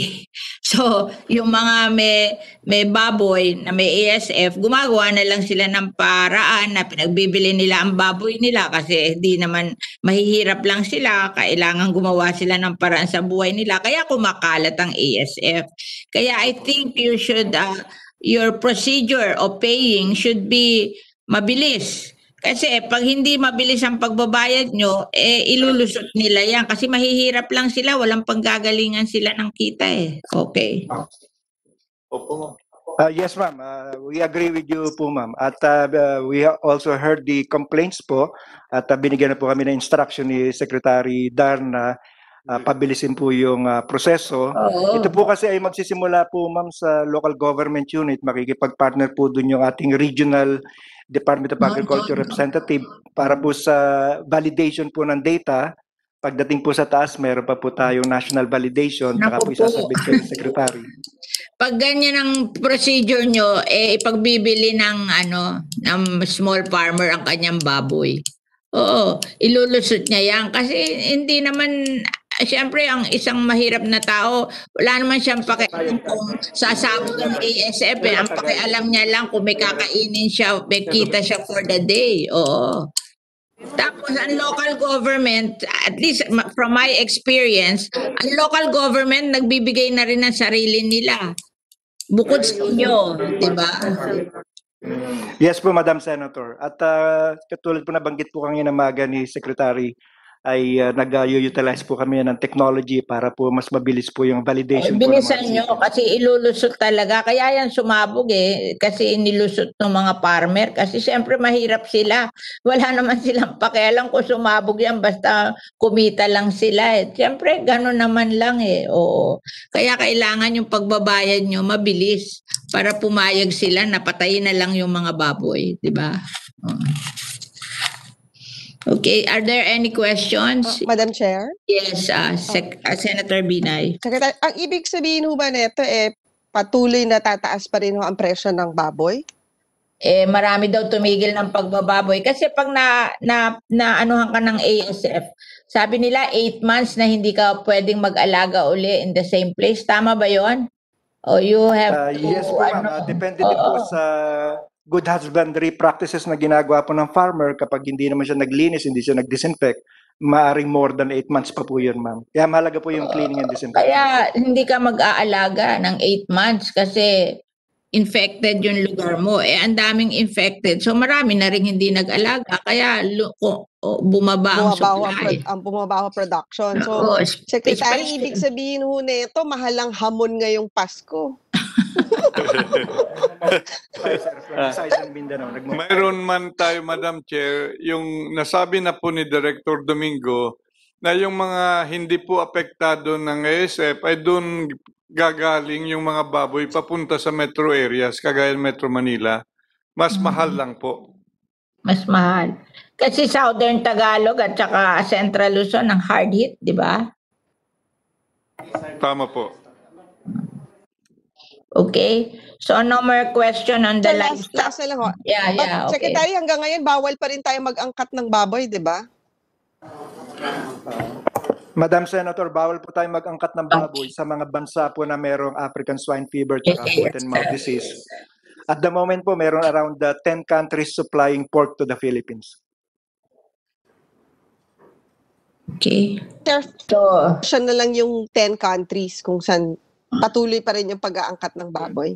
Thank you. Patuloy po din, man. Tuloy, tuloy po yung pag-import po natin sa kanila. So may hamon pa rin. May hamon pa rin, Senator. Kulang talaga ang baboy. Importante, baboy Sec, sa may hamon pa rin sa Pasko, ha? Ano na, nababawasan na yung dieta namin ng bagnet at longganisa at empanada. Gutom na we will, tayo. we will just eat ano, chicken kasi hindi ba kulang ang market sa chicken. Tama po yun. Chicken, Chicken po na ang lang tayo, substitute. chicken. Puro chicken. Chicken nuggets. Ah, mura lang pakainin si Vice Chair po. okay, we go to the we're finished with livestock. We go to the high value crop development. Are there questions here? High value. Ang question ko lang dito, Secretary, alam nyo, yung kasi concern na concern ako doon sa cacao and coffee because they are intercropping sa coconut. But in the last, siguro, end year, wala naman nag increase sa ating cacao and coffee. So that means yung high value crop development natin is failing kasi mga high value crop to eh, cacao and coffee. Ang ah, cacao, we are on- only producing 10% of our demand. For the whole Philippines, 50,000 metric tons ang demand, 10,000 lang pinoproduce natin, at 8,000 yan doon pa sa Davao region. Wala sa ibang lugar. Oo. And then yung ating coffee, ang demand is 100,000 metric tons. Ang napoproduce lang natin 30. Oo. Sa- so and that that that that those were the figures long time ago and it's still the same figure. So I'm saying na yung ating high value crop, parang taon-taon may high value crop development tayo at ang laki-laki ng budget, 1.2 billion. Pero sana may maipakita tayong nag-increase ng production na high value crop. So maybe uh, uh, we will ask our high value crop development program kung magbigay sila ng report ano-ano ba yung high value crop at magpakita sila na may na-increase ba sila sa production ng high value crop with this program. Oo. Sabi pa nga yung banana may problema din kasi yun ang malalaki banana, mango, uh, and of course cacao and coffee. So maybe you can make a report on how you have increased the production of high value crop with this program. Sige, Yusek Labinya, please. Uh, good good morning po, um, Wait, Madam Chair. For our cacao po, for our cacao po, uh, we we can give you a comparative. From year 2016 po, we have about 14,000 uh, hectares po, and then in 2018, 18,000 po yung in-increase. Yeah, but the And production is 20 still the same. Uh, the, uh, the productivity po is almost 1 kilo per ano po, per tree per hectare. No, let's just simplify it.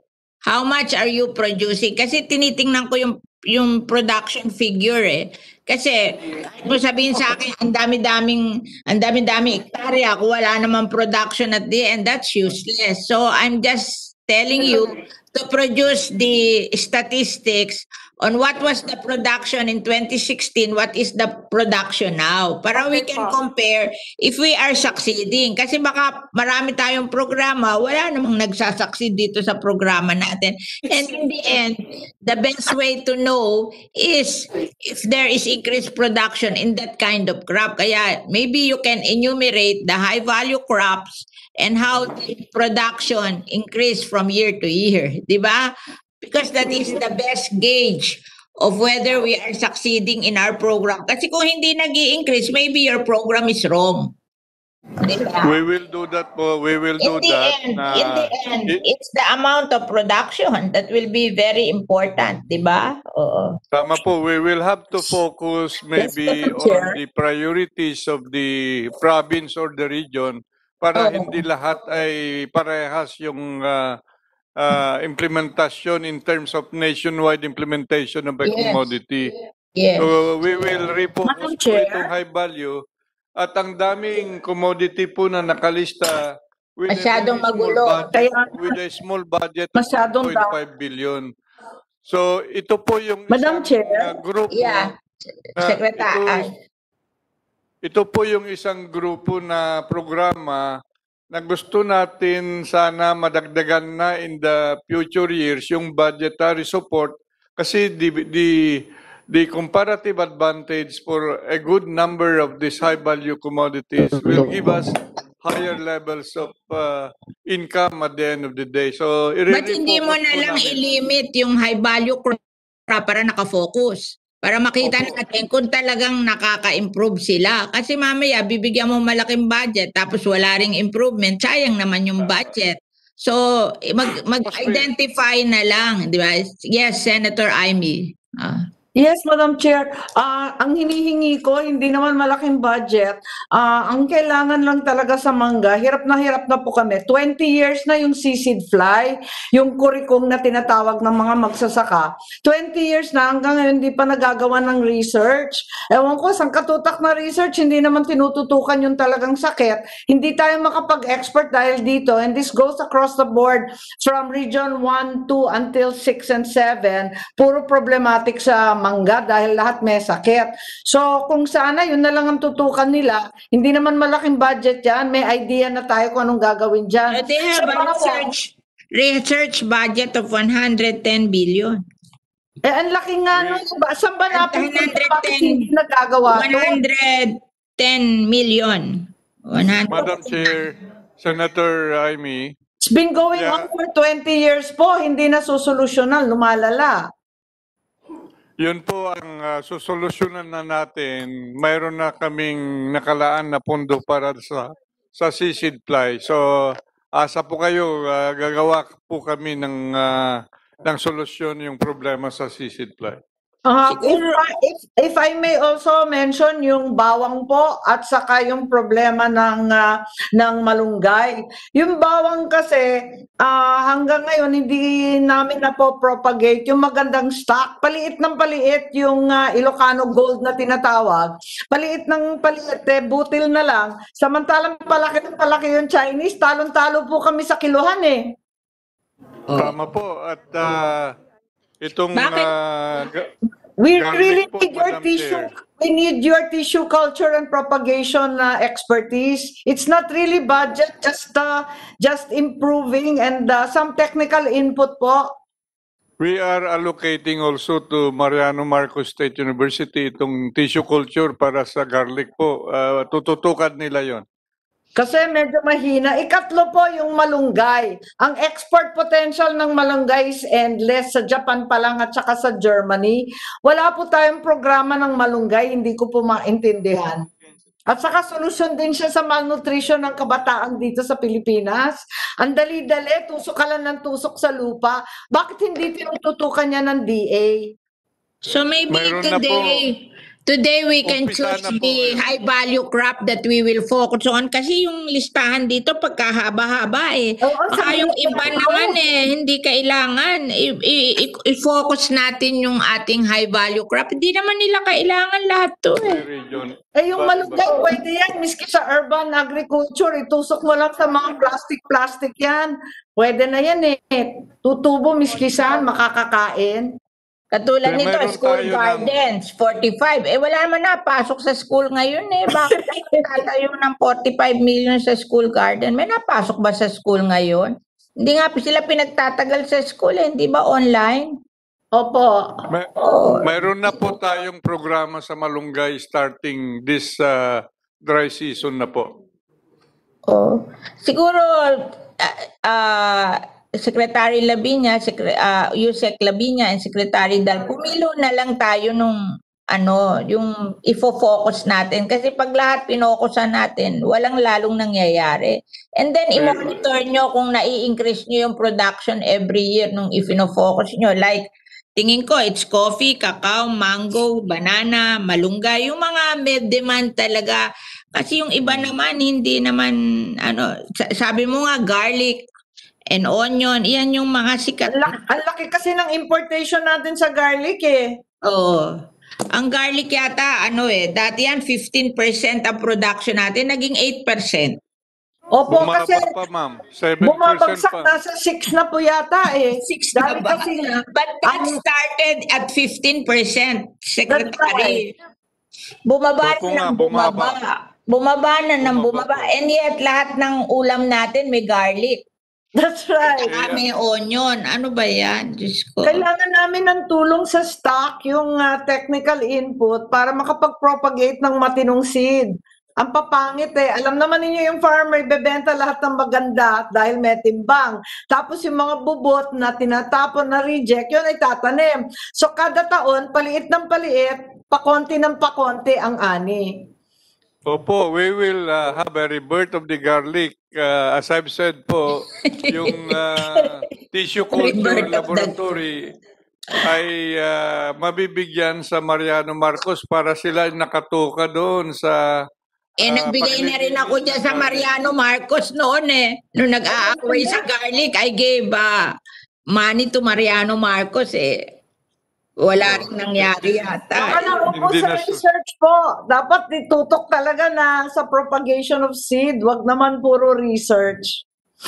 tututukan po ng paglinis. Opo. Yun ang palagi ko sinasabi na yung research should amount to something. Hindi for That's the true. sake of making research, but how it can be applied to improve the daily lives of people. Yun lang naman, hindi naman ako against sa research, pero it should amount to something on the lives of people. Wag natin We are basta one with you. ibigay, tapos wala namang mangyayari. Diyos ko. Bumagsak na. Dati yun eh. gal- Inis na inis ako kasi 15 to 8. 15% to 8%. Ngayon pala 6 na. Malapit ka na Bumabagsak. mag-zero, I mean. Kaya nga, paano? Ang baba ng presyo, tapos ang konti-konti pandiliit. Ayan. So maybe, Secretary, we can choose the crops, the high-value crops we will focus on. Maybe. Opo, Madam. Chair? Yes, Region, oo. Para may mangyari sa atin, wag masyadong madami kasi walang mangyayari, di ba? Madam Chair? And then we, we, ano, we, ano, the growth. Para alam mo na after doing this, walang nangyari, there must be something wrong, di ba? Madam Chair? Yes, uh, Secre- Senator Binay. Doon ho ba sa listahan ng high value crop, meron naman ho kaya doon nag-increase ang production? At ano, we will ask Secretary Labinya, Yusek Labinya, may nag-increase ba daw ng production do sa high value crop? Question, Nancy. Lupit. Yes, Ha? ma'am. Gutom na, gutom na. Nag-i-increase po para hindi kayo magutom. Oh, saan nag-increase? Anong crop? Nag-i-increase. Anong crop ang nag-increase para good news naman sa amin? Ano ang nag-increase? Productivity. Banana. Banana, saan yung banana? Okay, ang Masa- may sakit ang banana, di ba? Nabasa ko sa dyaryo, going down. Going down ang banana. Di ba worried na ang banana industry? It's going down. May sakit ang eh. banana po, ang banana po, Madam Chair, ay local sufficiency level in terms of percentage, nasa 330% tayo. O, Yun saan po natin ang dinadala banana? Export po karamihan po ito. Oo nga, pero Export. may nabasa ako sa dyaryo na worried sila kasi may sakit daw yung banana natin. mayroon, ma'am, mayroon problema kasi yung Fusarium wilt, which is Oo. uh, a transboundary plant disease na ito ay, uh, it's uh, again a combination of good agricultural practices plus the introduction from Taiwan. Sila lang yung nakadevelop, naka-develop ng uh, variety na banana that is uh, resistant dito po sa Fusarium wilt. So yun po, mayroon na tayo sa Mindanao. Ililinisan continuously pa natin ito through tissue culture po. Okay, pero hindi ba ang banana is private sector led? Yeah. Di ba? Hindi Marami naman tayong marami marami tayong small growers na ah, contracted by the private sector. So Oo, tutulong rin tayo. Okay. Anyway, ah yun lang ang gusto namin, magawa na lang ng report, piliin na lang yung ano, yung kung sino yung ifo-focus na high value crop at i-monitor kung tumataas o bumababa. Para naman may measure natin kung ano nangyayari sa atin through the years, di ba? Opo. Hindi We'll do that po.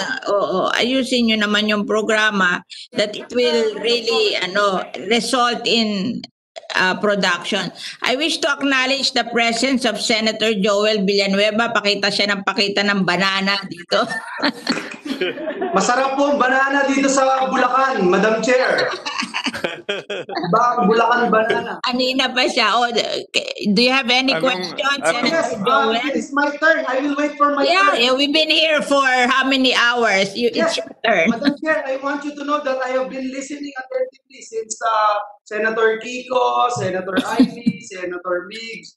I was listening attentively. I, I, I'm- not going to take long, Madam Chair. Yeah, okay, okay. questions, Uh, before, but if I may, Madam Chair, and uh, I'm sure all of you are aware of my uh, of my uh, concern with regard to uh, uh, uh, uh, plantilla positions in the different agencies and departments of Oo. our government. I always raise this, Madam Chair, every year.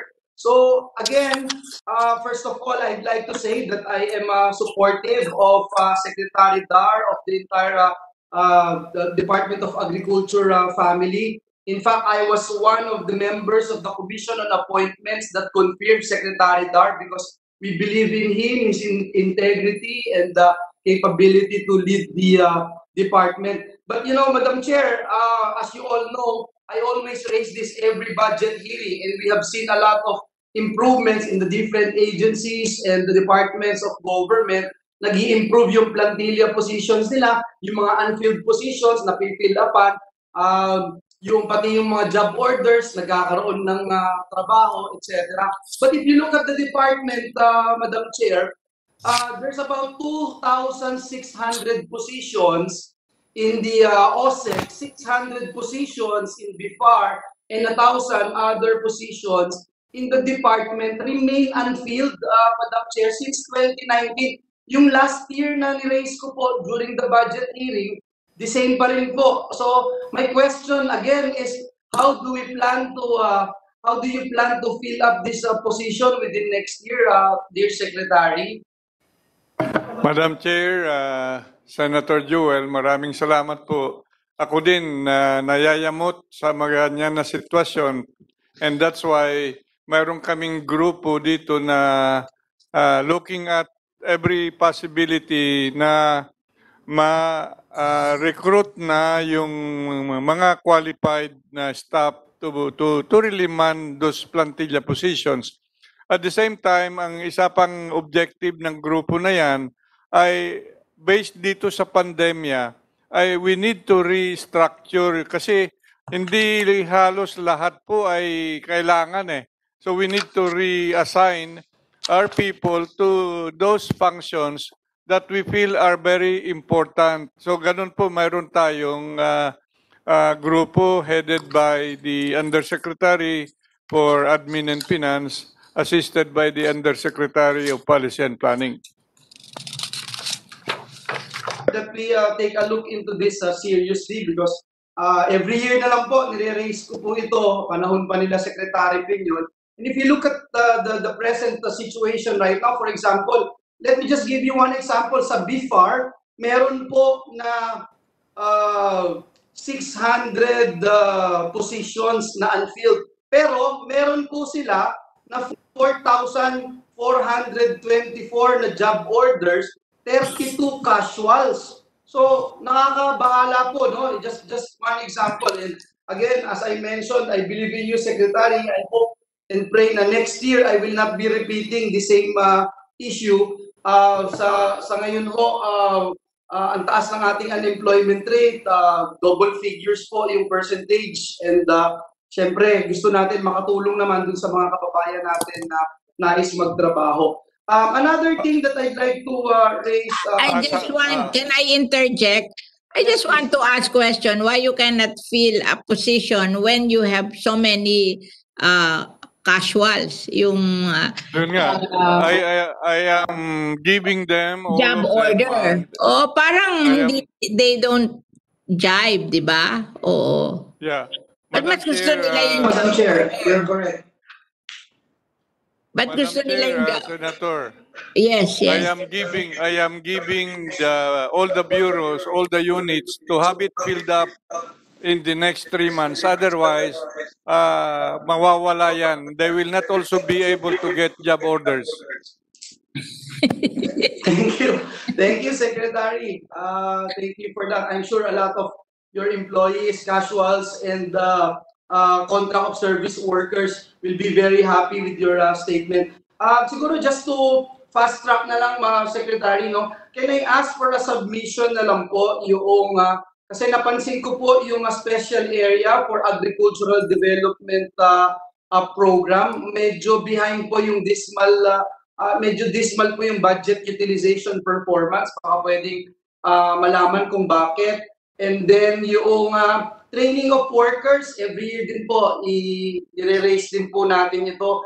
Yung, ah, ah, kasi yung, yung study ho, yung ah, ah, in the indus- different industries, isa ho yung agriculture ah, sector na mababa yung training of its workers. And if you look at the uh, Budget. uh, the, uh, Puro training.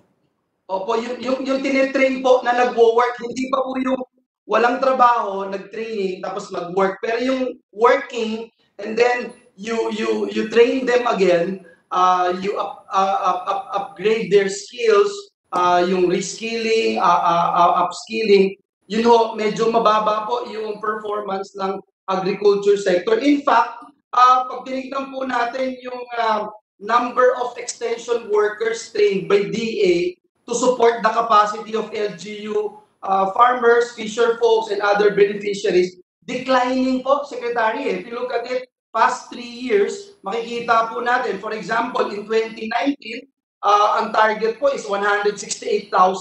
Noong 2020, naging 98,000 na lang. Ngayong 2021 po, 61,000 na lang. Ah, so pababa ho ng pababa. So that explains the perhaps the the the the the the, the trend no na downward. Alam naman po natin yung mechanization, yung artificial intelligence, yung uh, fourth industrial revolution is just around the corner. We wanted to make sure na tayo naghahanda rin po tayo dito para ma-upgrade, ma, uh, ma, matumaas yung level of uh, competency, understanding, and uh, technical know-how of our agricultural workers. So I hope I'm not going to dwell so much on that because I know we're pressed for time. Can, can I just ask for a submission of this, uh, Secretary? Thank you. I want to add something there.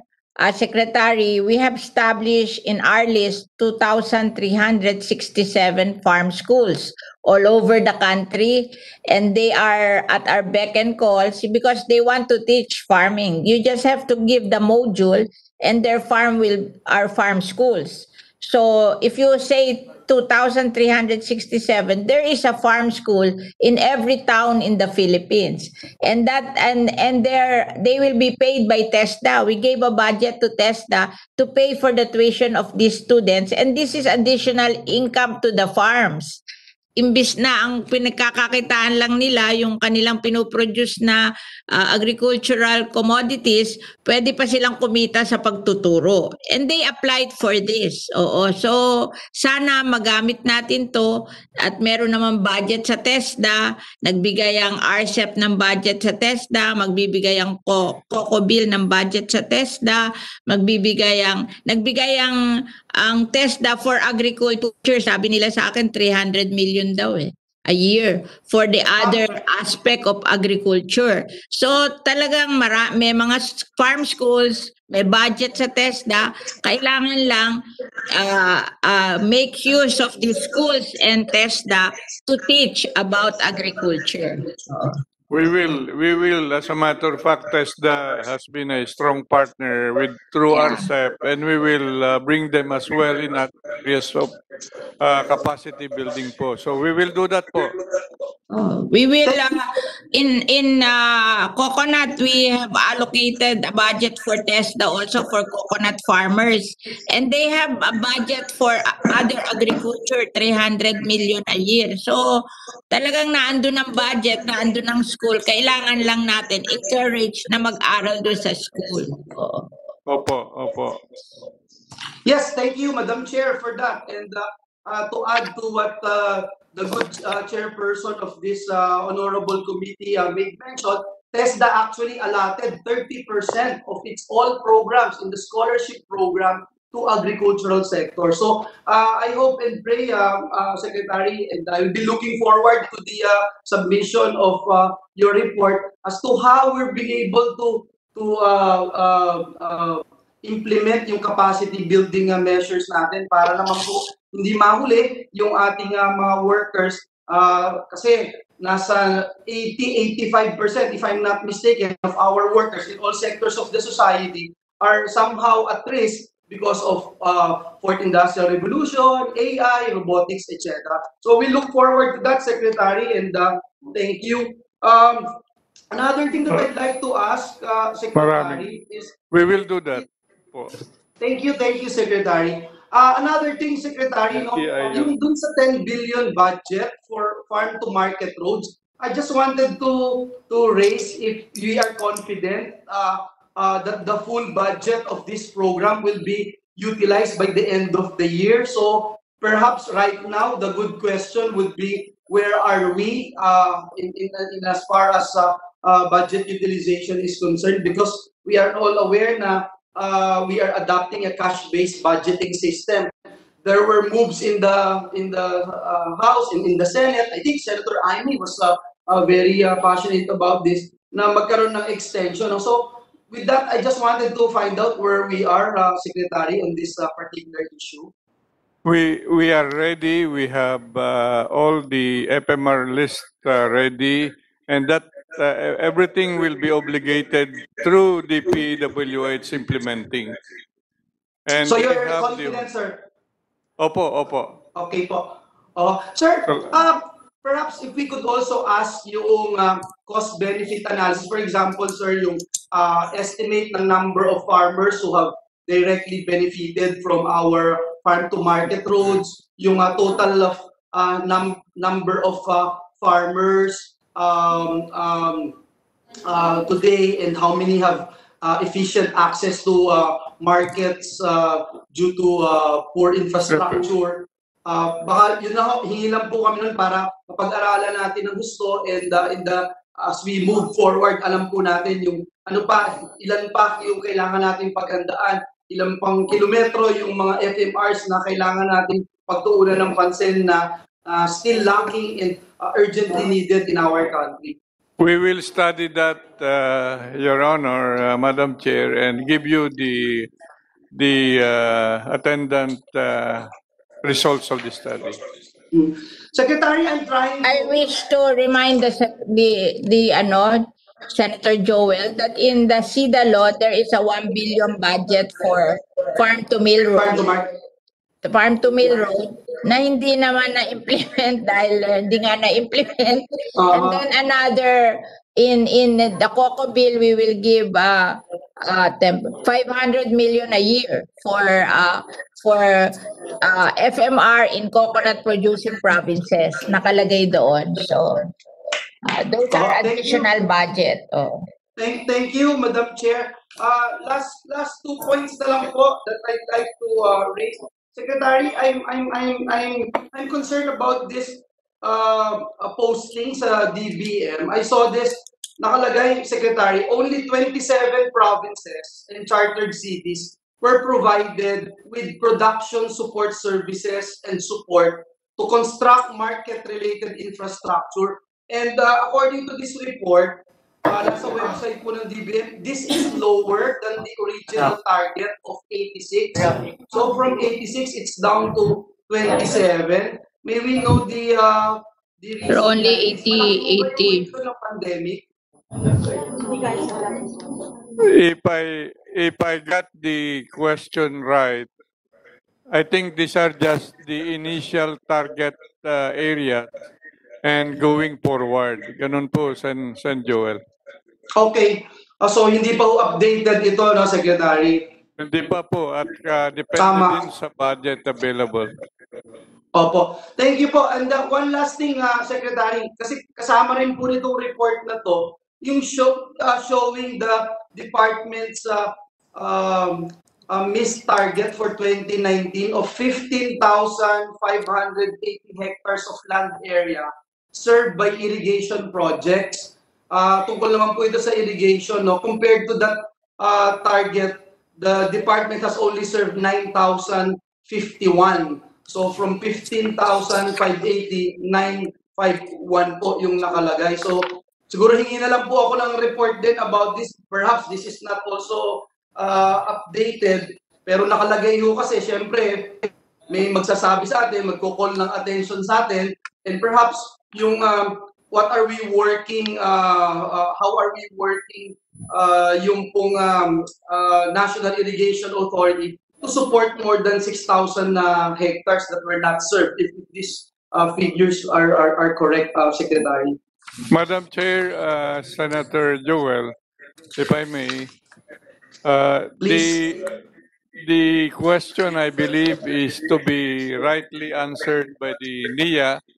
NIA po ay hindi kasama under the DA oversight. Okay. Sige po, uh, we'll, we'll, perhaps, Ma'am- Madam Chair, we, we can ask Nia na lang and uh, Yeah, it's on Monday. It's on Monday. Opo. uh, The hearing of NIA is on Monday together with the Philippine Coconut Authority and what will be left of the Department of Agriculture. I think Bureau of Fisheries and Aquatic Resources will present a, a new budget. Okay, sige. Okay po, Madam Madam Chair. Thank you very much. Again, thank you, Secretary. And uh, Maraming salamat po, Jo- Sec- Senator. Joel. God bless po, Secretary. Thank you. Salamat po.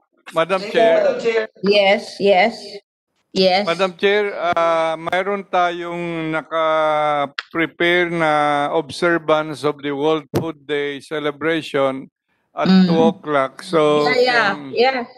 So we have more or less finished the banner programs because uh, uh, the halal is uh, self-explanatory. The market development, they have asked questions on this. So maybe we Madam will Chair?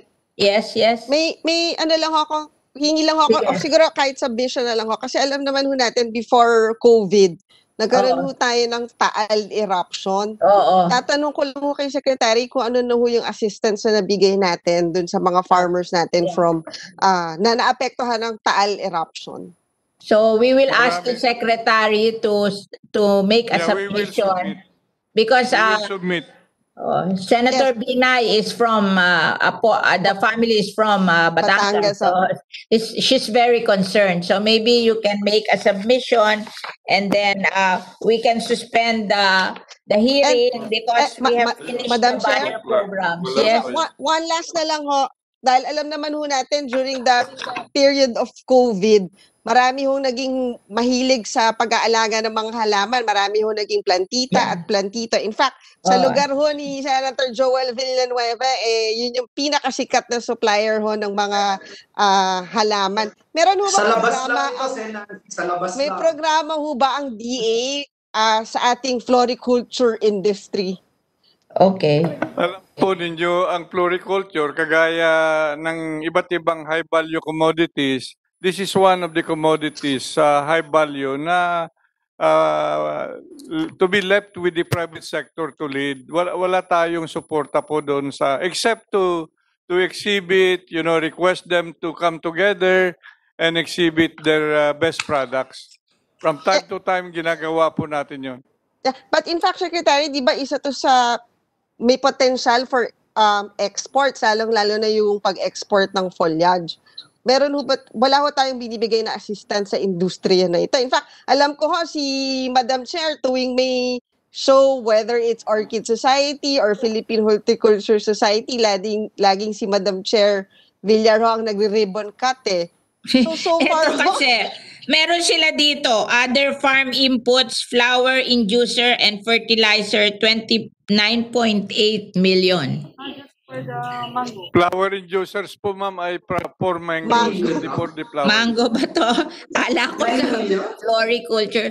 Maybe you can allocate a certain amount naman, high value in, in Kaya naman fairness to natin. them. Oo. O, sige po, Tulungan nyo with your- naman. with ah, your, mag, uh, mag, ah, magbawas ka dito, yung hindi naman nila masyado. Oo nga, magagalit yung mga kapitbahay ko dito, Madam Chair. Mm. We will try. Sige po, we will uh, try to identify one or two uh, Yeah. floriculture commodity na may export potential at yun ang Okay. po natin. Okay, thank you. siguro, One of the revision of the high Siguro, value Secretary, um, tignan din natin kasi for example, itong gagawing airport sa Bulacan, I'm sure ang laking quality, ah, a quantity ang gagamitin, lalong-lalo na dun sa mga ganyang programa par, as part of the build, build, build. Eh, ah, maganda siguro an, another form of livelihood, itong ganitong ah, floriculture industry. Yeah. Presently talaga ang dami pong uh, engaged in the floriculture industry and uh, even without In fact, your high value, your USEC is came from the floriculture industry. Yeah. Si Tama. That's why- that's why. Lavinia. Undersecretary Lavinia is saying na uh, mayroon tayong uh, engagement with the organizations involved in ornamental agriculture. Okay. And then, last na last one. Secretary, alam naman ho natin, La Nina na tayo next year. Siguro for submission na lang ho kung papaano natin i-assist yung mga farmers natin mag-adopt for La, La Nina. We will we will do that but the the the uh, La Nina that's coming is what they call a very moderate La Nina and that's a good uh, phenomenon kung moderate lang. Oh, sige. Ma'am, i- idadagdag ko lang dun sa sinabi ni Senator Nancy, Secretary, dito sa Giginto, Bulacan, ah, babanggitin ko lang ko, ang dami yung tao ngayon lagi, nagbibilihan ng ah, halaman, etc. Talagang Mm. puluho. I hope na matulungan natin yung industriya, ah, especially dun sa binanggit kanina, perfect timing yung binanggit ni Sen Nancy tsaka ni ah, Chair ah, ah, Cynthia Villar. Kasi ho, talagang yung ah, for export, ah, yung export quality, maganda, ma- matignan po natin yun. And uh, uh, ibo-volunteer ko po yung ah, lugar namin dito sa Kikinto, Bulacan. Bulacan. Salamat po, Secretary. Okay. Opo, opo. ah, So, maraming without- salamat po. With those questions, we would like to suspend our hearing of the Department of Agriculture to resume uh, on Monday morning. Thank you very much. Maraming maraming salamat po.